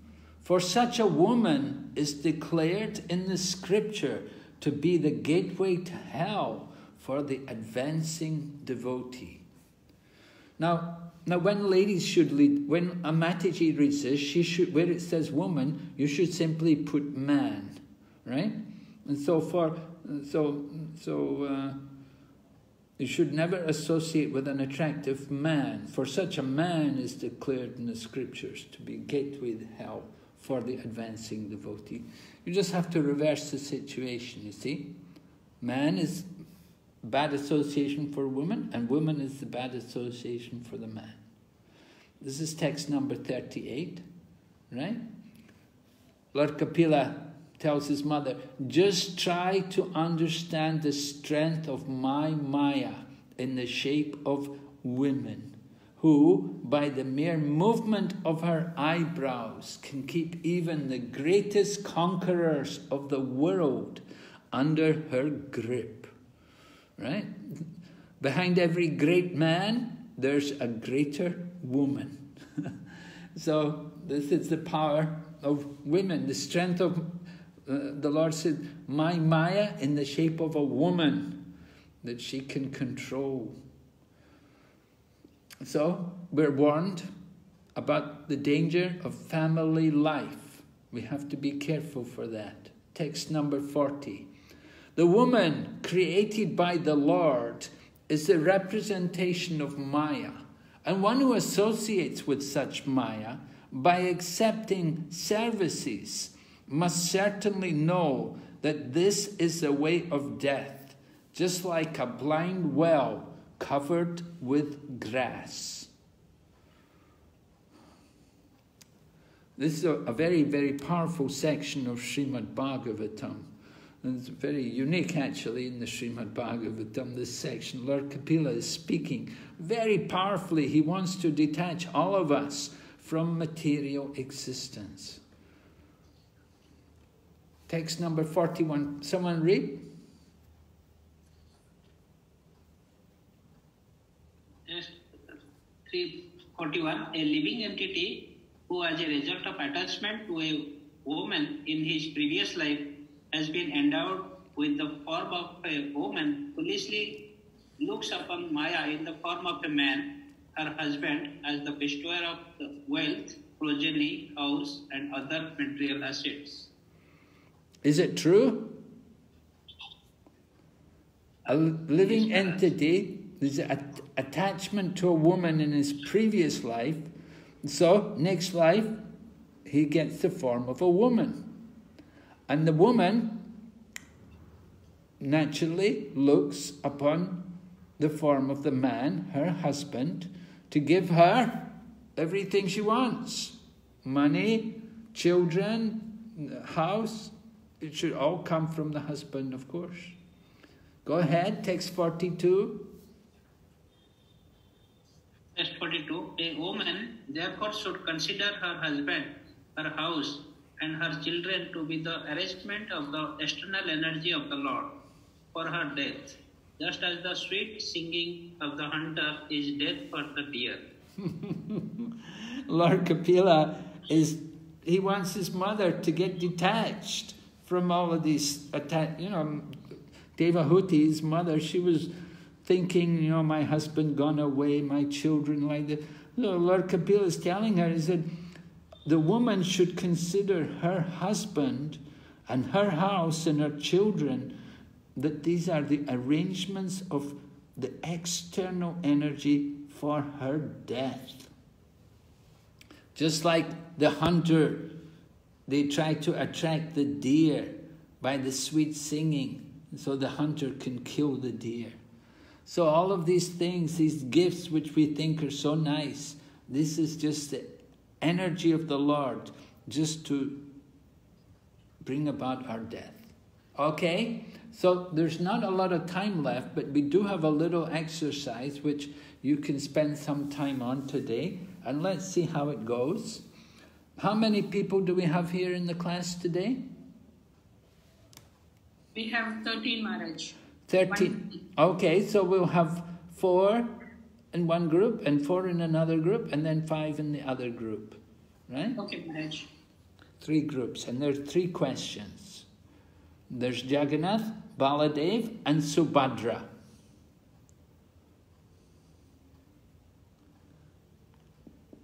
Can I open the rooms, Maharaj? All right. And I still have to tell the, the questions for each group. Okay.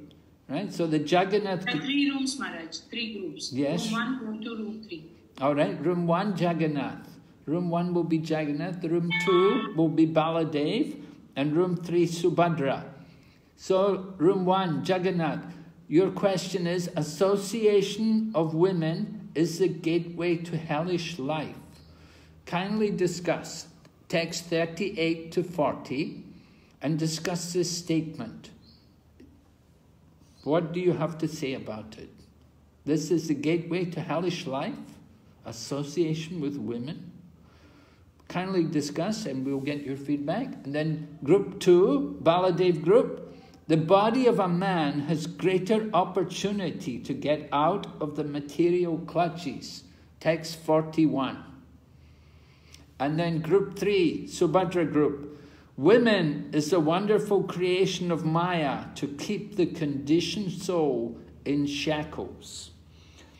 You have a longer section here. You have to look through text 32 to 39. Group 2, you're only working with text 41. And group 1, you're looking at text 38, 39, 40.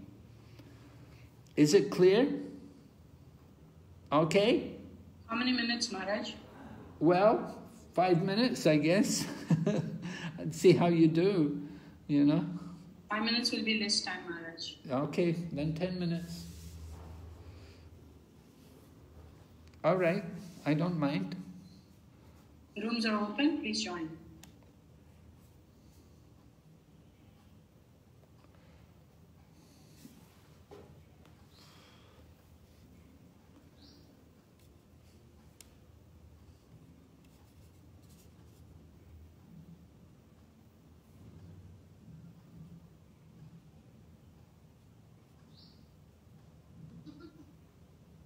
Krishna Maharaj.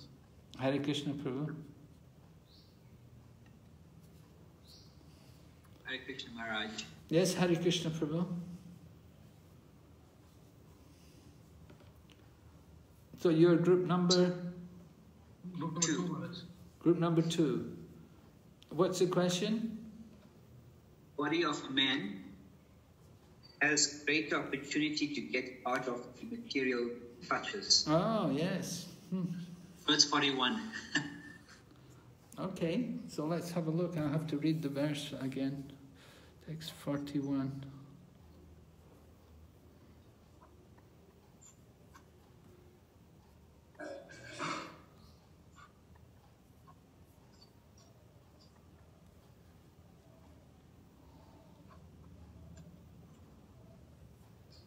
Text 41 is a living entity who, as a result of attachment of a woman in his previous life, has been endowed with the form of woman, foolishly looks upon Maya in the form of a man, her husband as a bestower of wealth, progeny, house, and other material assets. Okay, yes. From this verse, it appears that a woman is also supposed to have been a man in his or her previous life. And due to his attachment to his wife, he now has the body of a woman. Bhagavad Gita confirms that a man gets his next life birth according to what he thinks of at the time of death. If someone is too attached to his wife, naturally thinks of his wife at the time of death, and in his next life he takes the body of a woman. Similarly, if a woman thinks of her husband at the time of death, naturally she gets the body of a man in the next life.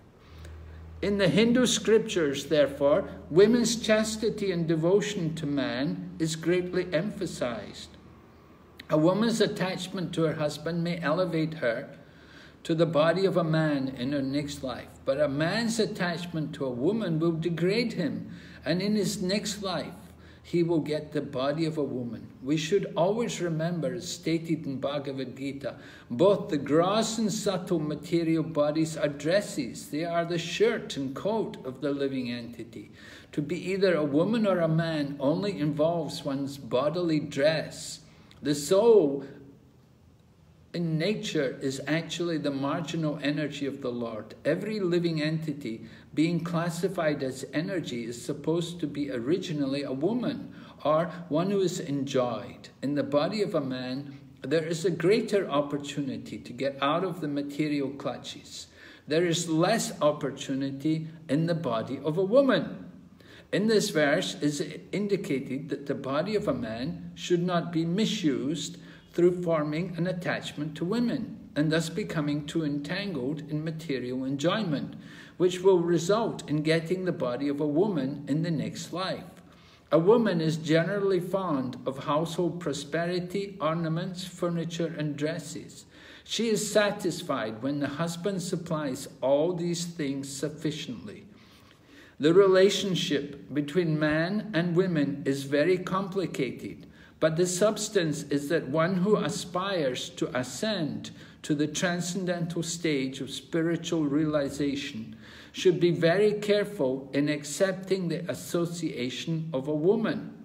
In the stage of Krishna consciousness, however, such restriction of asso association may be slackened if a man's and woman's attachment is not to each other but to Krishna. Then both of them are equally eligible to get out of the material entanglement and reach the abode of Krishna.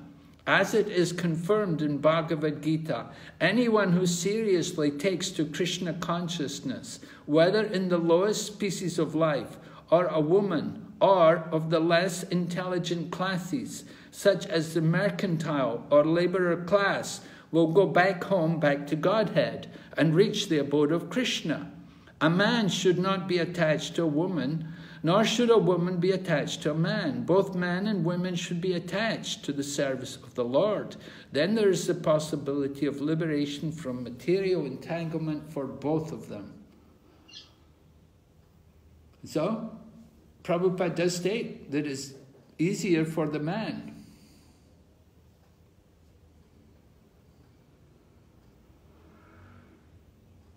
Raj, uh, as per this purport, uh, as you illustrated, Prabhupada does say the man has a greater opportunity. But, um, you know, in our previous classes, we were discussing that the man has lesser willpower than a woman, for example. you know, yes. uh, lesser, lesser what power?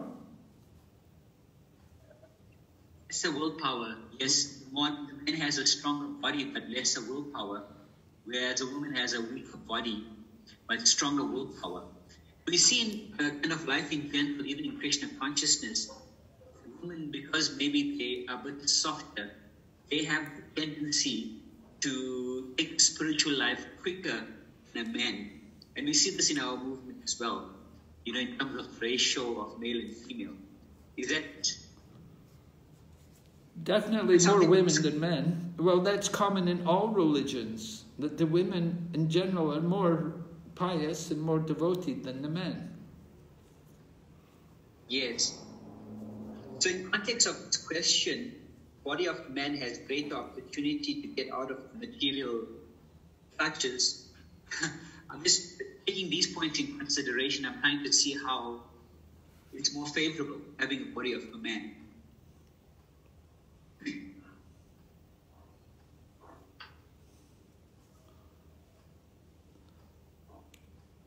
Definitely, definitely we, we don't let women become sannyasis. Women cannot become fully renounced. They need protection. Women are supposed to be protected. That's, you know, part of the nature of women, that they, they, they need to be protected because they're more gullible and they can be taken advantage. They they tend to be kind-hearted and they can be exploited and cheated by unscrupulous men. And so there has to be men there to protect them and give them shelter. And that's why women should be married. Prabhupada said like that, you know, women should be married. All you women have to get married, right? And he said, you men can yes. stay single.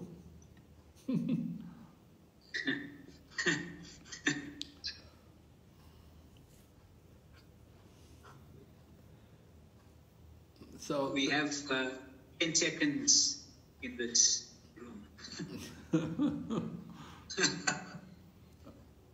yes? Who else is there? Oh my God.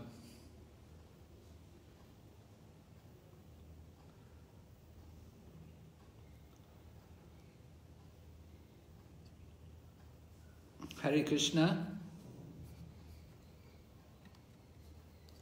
Hare Krishna.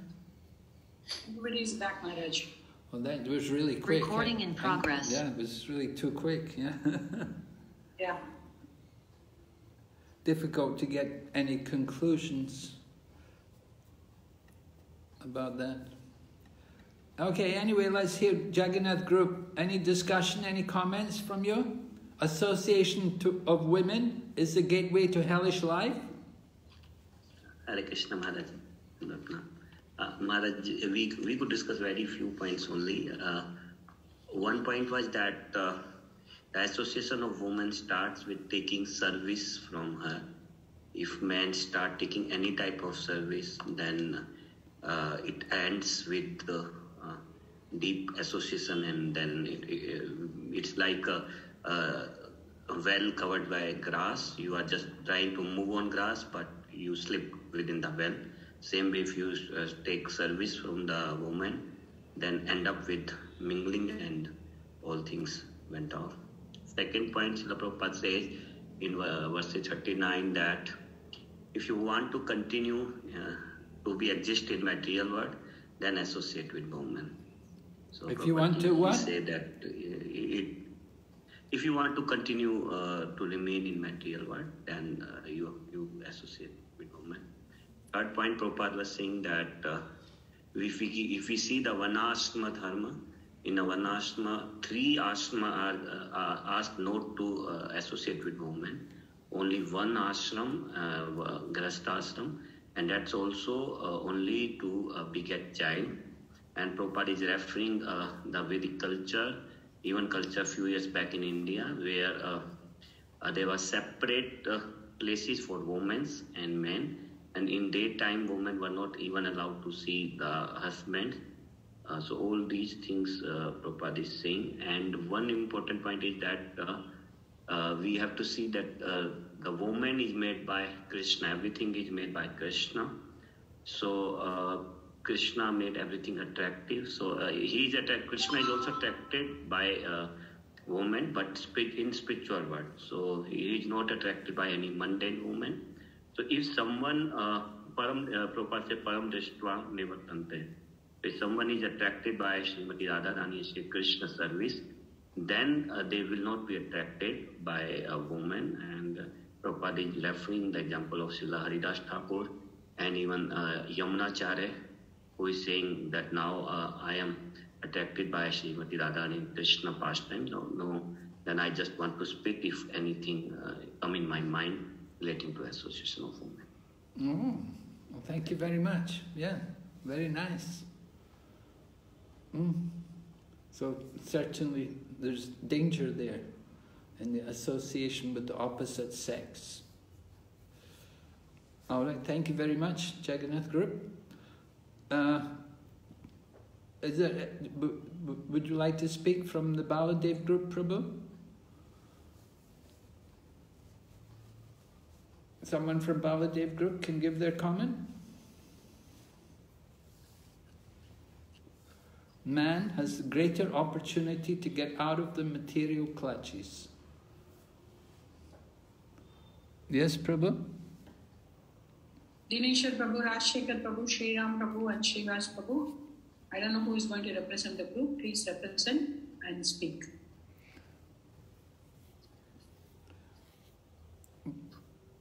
Two. Hare Krishna, I'll just start off by saying a few points, maybe. Yes, go uh, ahead.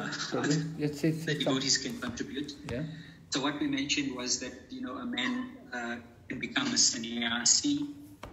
Uh, a woman has to be uh, protected. You know, Srila Prabhupada emphasized that a woman should get uh, married. Uh, these were some very important points that Maharaj actually brought up. Um, yeah, we, we didn't get a lot of opportunity to discuss, but these were just some of the points. Any of the other devotees in the group like to contribute?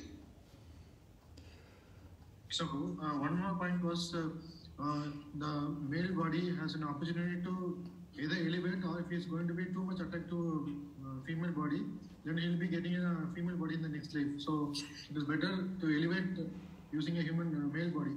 That was one more point which came up during the discussion. Yes, Prabhupada's purport warns that people too much attached to women, they'll become a woman in the next life. And so, in some ways, we could say that the people who have ladies' bodies today, in their previous life, they were men.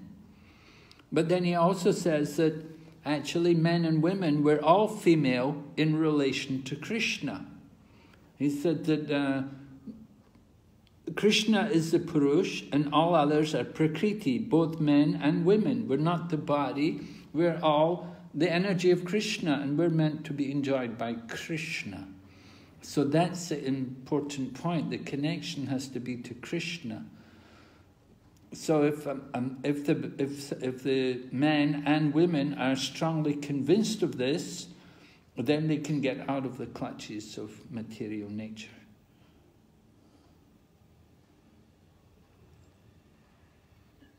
One more point which was discussed in the group was that the uh, uh, women uh, they uh, they are not getting the uh, brahmachari that. Yes, right. Yeah. And man get the sannyasa. Right. Women don't take sin- women need to be protected. Women have to be you know they they can be easily taken advantage of by unscrupulous men. So women have to be protected. That's why Prabhupada said Vedic culture was all the women should get married and then they will be protected. Of course, men have to be qualified to give protection to the men to the, to the women. The men have to be qualified to take care. This is a, also a challenge.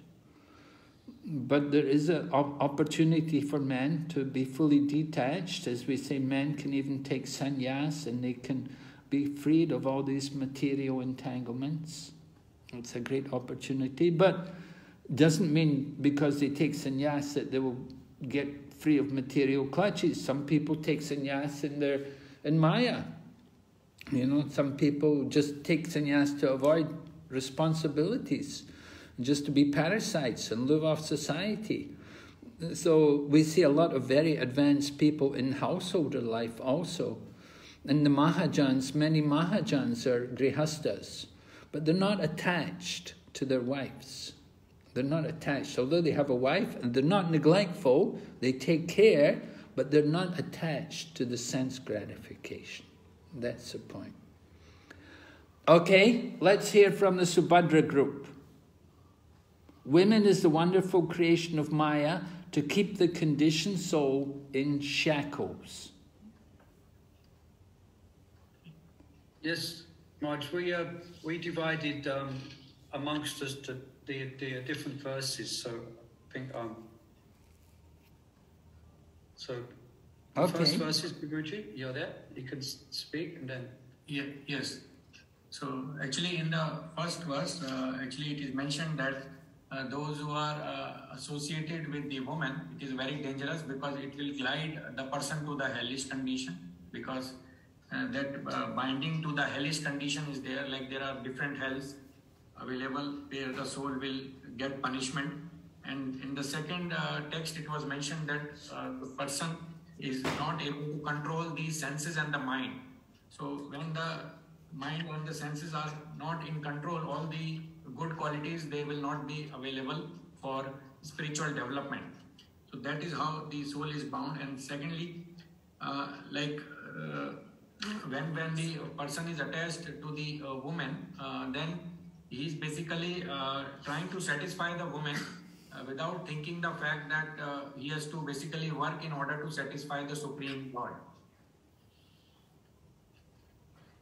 So that way he, he cannot make any progress and that he uh, he will not uh, associate if I mean if he's only interested in material enjoyment he will not make uh, advancement in Krishna consciousness. So that is very dangerous. It is uh, more dangerous than suicide. Okay? So, so Murari Prabhuji, now you may continue for your shlokas because there are uh, eight or nine shlokas in this one. And then Murali Manohar Prabhuji would like to sum up and conclude. That will be divided, Maharaj. Yes, I had the slokas 35, 36, and 37. So there is uh, descriptions that how the woman is um, uh, so contaminating that uh, even when somebody is um association uh, have association with wom- the the association with person which are associated with women is uh, very contaminated so and uh, there was example of brahma uh, which also was captivated by his uh, daughter, and uh, Lord Shiva who was captivated by uh, Mohini Murti. So the, the example was given even if such big personalities are captivated by the woman, so what say about us, like uh, ordinary living entities? And uh, also was the description that uh, to the material world there is no one uh, uh, without this attraction of sex life except uh, the sage of Narada Muni. So there was to say for, for one who want to to go out from uh, conditional life, it, there, he must be detached from uh, association woman of woman, and so therefore the Vedic uh, civilization is uh, was divided in these four ashramas, and we can see that in uh, three ashramas uh, there is completely forbidden to associate with a woman, in but in only one there was uh, possible to associate with women in uh, restricted conditions. So we can see from this uh, how dangerous it is. okay, thank you, Prabhu. Yeah. Hare Krishna, um, yeah, then speak, um, just summarizing text 38 and 39. Um, the verse um, asks us, or it it asks us to look in to the strength of this Maya, how um, it's in the form of a woman for a man, and, and as we know, vice versa, described by the movement of her eyebrows. It can capture even the greatest conqueror. And Prabhupada in the purport, he alludes to um, Cleopatra, I think, who is Mark Antony, who was attracted to Cleopatra when he was trying to become a ruler of Rome. So, and then Prabhupada speaks about, um, then he addresses the, that actual potency by which a woman has to attract a man. And then he explains, then he, Prabhupada be, uh, quotes Janmadyasya Yatah, that actually is coming from the absolute truth. And then uh, Prabhupada goes on to explain um, that Krishna himself, um, he wants to be attracted by a female because that because the that propensity is here because it's there. Janmadyasya Yatah.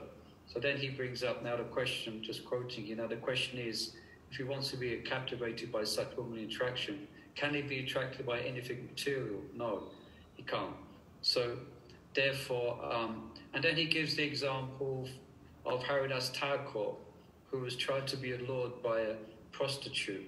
So he was completely detached from um, material womanly beauty.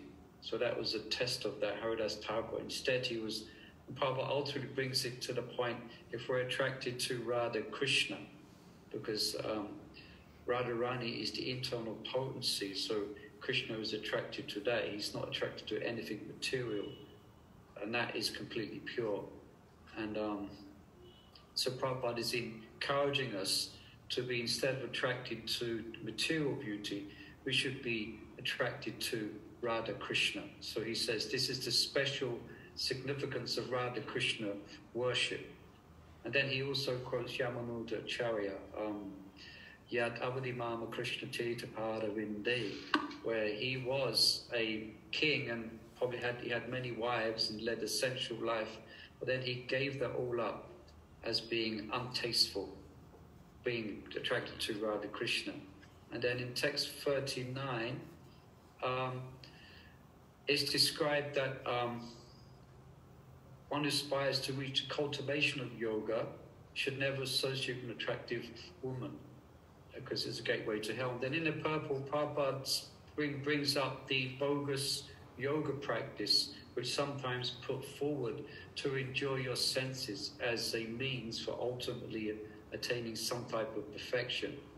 So Prabhupada explains that these are just rascals, he explains. And then he begins to explain what you heard before about the science of the Vedic civilization, where, where association with women is um, controlled. It's like it's scientifically dealt with in order to assist the process of spiritual realization.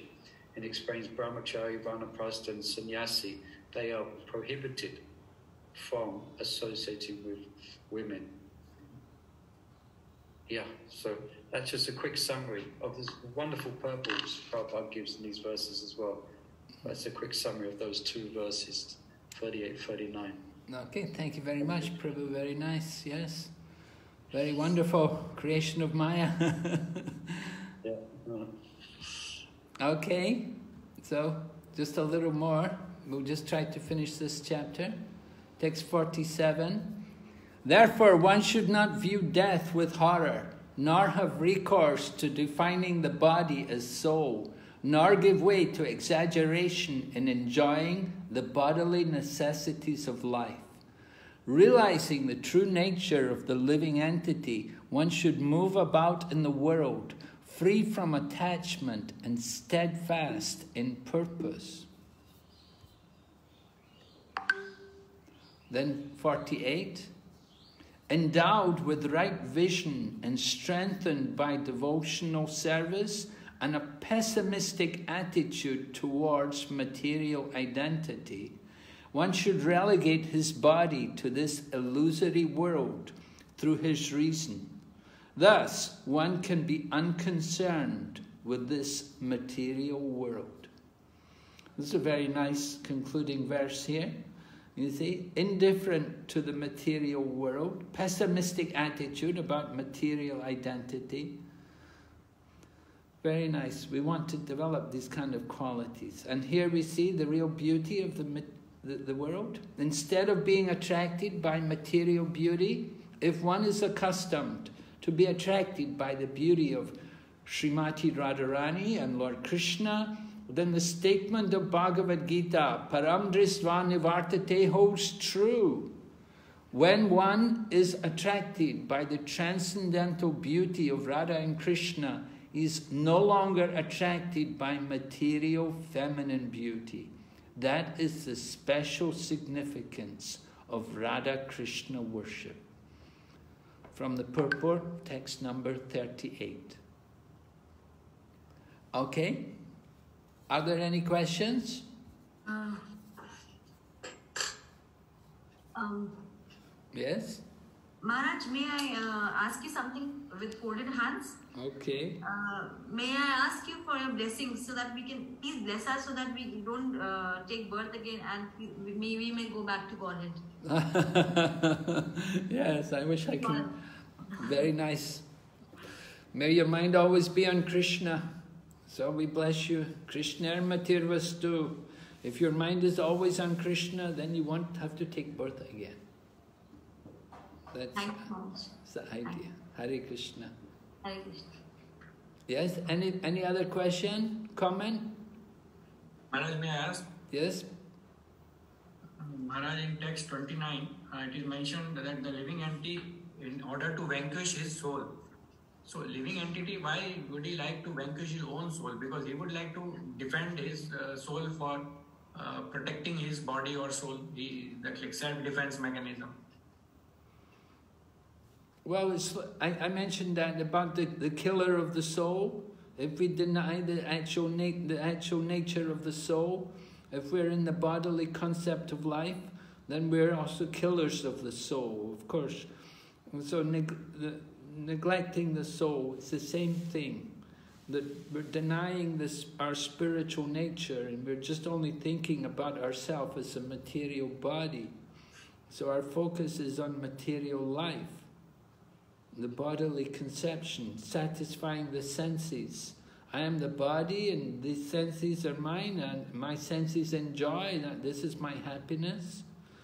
So this is killing the soul. This is the giving up the conception of the soul. Yes, Maharaj. Uh, and in uh, Maharaj, like in previous chapter, there was uh, there were two terms which you had explained last time, Prakshit Atmika and. Uh, uh, oh yes, yes. Atmika, yes. Yeah, uh, so there are two functions of this material energy. One is basically the knowledge of the living entity is covered and second is that the conditioned soul is satisfied with him with his, with his current species. So that is the meaning of Prakshaya Atmika because that Prakshaya Atmika is very similar to Avaran Atmika and Avaratmika is the covering of the knowledge of the soul. But Prakshaya Atmika is basically satisfied in his own self uh, in sense enjoyment or how is it different from Avaran Atmika? Yeah, the, the, the, the it's different. It's referring to the initial phase of the mind that we're thrown out of the, of the spiritual existence. So we're thrown out into the material world. It's that, it's that initial ejection from the spiritual existence coming into the material existence. And then the longer we stay in the material existence, then the more we become covered. So it's that initial entrance into the realm of Maya, coming into the material conception of life. So initial initial entrance means that it is subject like like avaranatmika is the covering of the knowledge of the soul. Yeah. And Prakshayatmika is basically uh, I didn't understand Maharaj. Prashak Atmika is that initial entrance into the material world, the phase of actually coming into the material existence and giving up our spiritual identity and coming into the material consciousness. So it's the initial phase. First, we, we come out of the, of the spiritual nature, we come into this, the material realm, and then we, then the avaratmika is the, the covering, the layer, the covering is increased more and more. But the prakshakatmika, this is the initial entrance into the material energy into that material illusion. Yes, Maharaj. So once uh, once it enters, then more and more he gets subjected to the uh, knowledge being covered by Maya. Yes. Yes. Thank you, Maharaj. Okay. Yes. Any other questions? Maharaj, can I ask? Yes. Uh, I want to ask that uh, it uh, seems that um, like from this that um, we we are overcome by the last like the living entity. And uh, the way from this is like to to have the attraction for the lord. But uh, like for myself i can see that uh, i'm not on one side or, or the second side. I'm just somewhere in between you know that the still uh, fully of lusty desires, but still somehow attracted to the Lord. And uh, the question is that uh, how to or, or, what what can help us to be you know be more attracted to the Lord than to these lusty desires. Just the, just this that we have the knowledge about this, how this function, or you know, some practical application or? Well, simply the process of devotional service, applying ourselves into the into the wholeheartedly into the service of the Lord, hearing and chanting.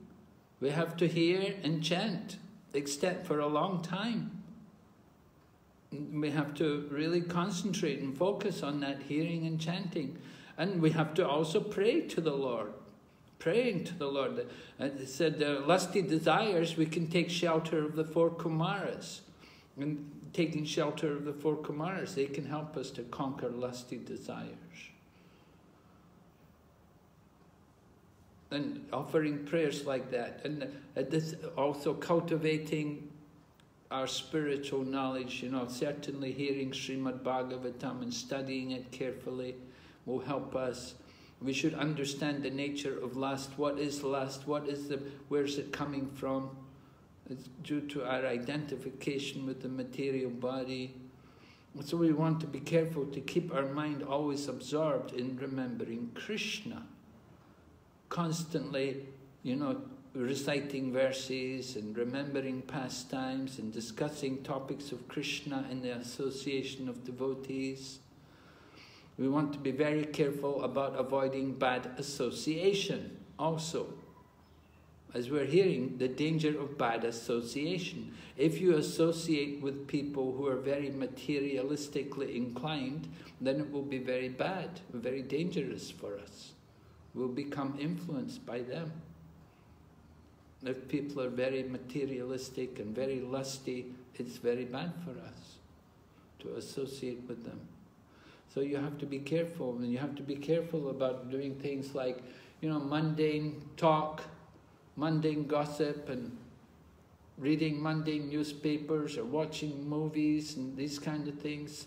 All these things are very harmful for our consciousness. Right? We've been in the material world a long time, and we have a lot of contamination there. That we want to get rid of all this contamination, we have to work hard. It's going to, Rupa Goswami describes, Utsahan Nischaya enthusiasm, patience, determination. These things, very important. Then strictly following principles like hearing and chanting, avoiding the association of non-devotees, means you have to get the association of good devotees, strict devotees. Yeah?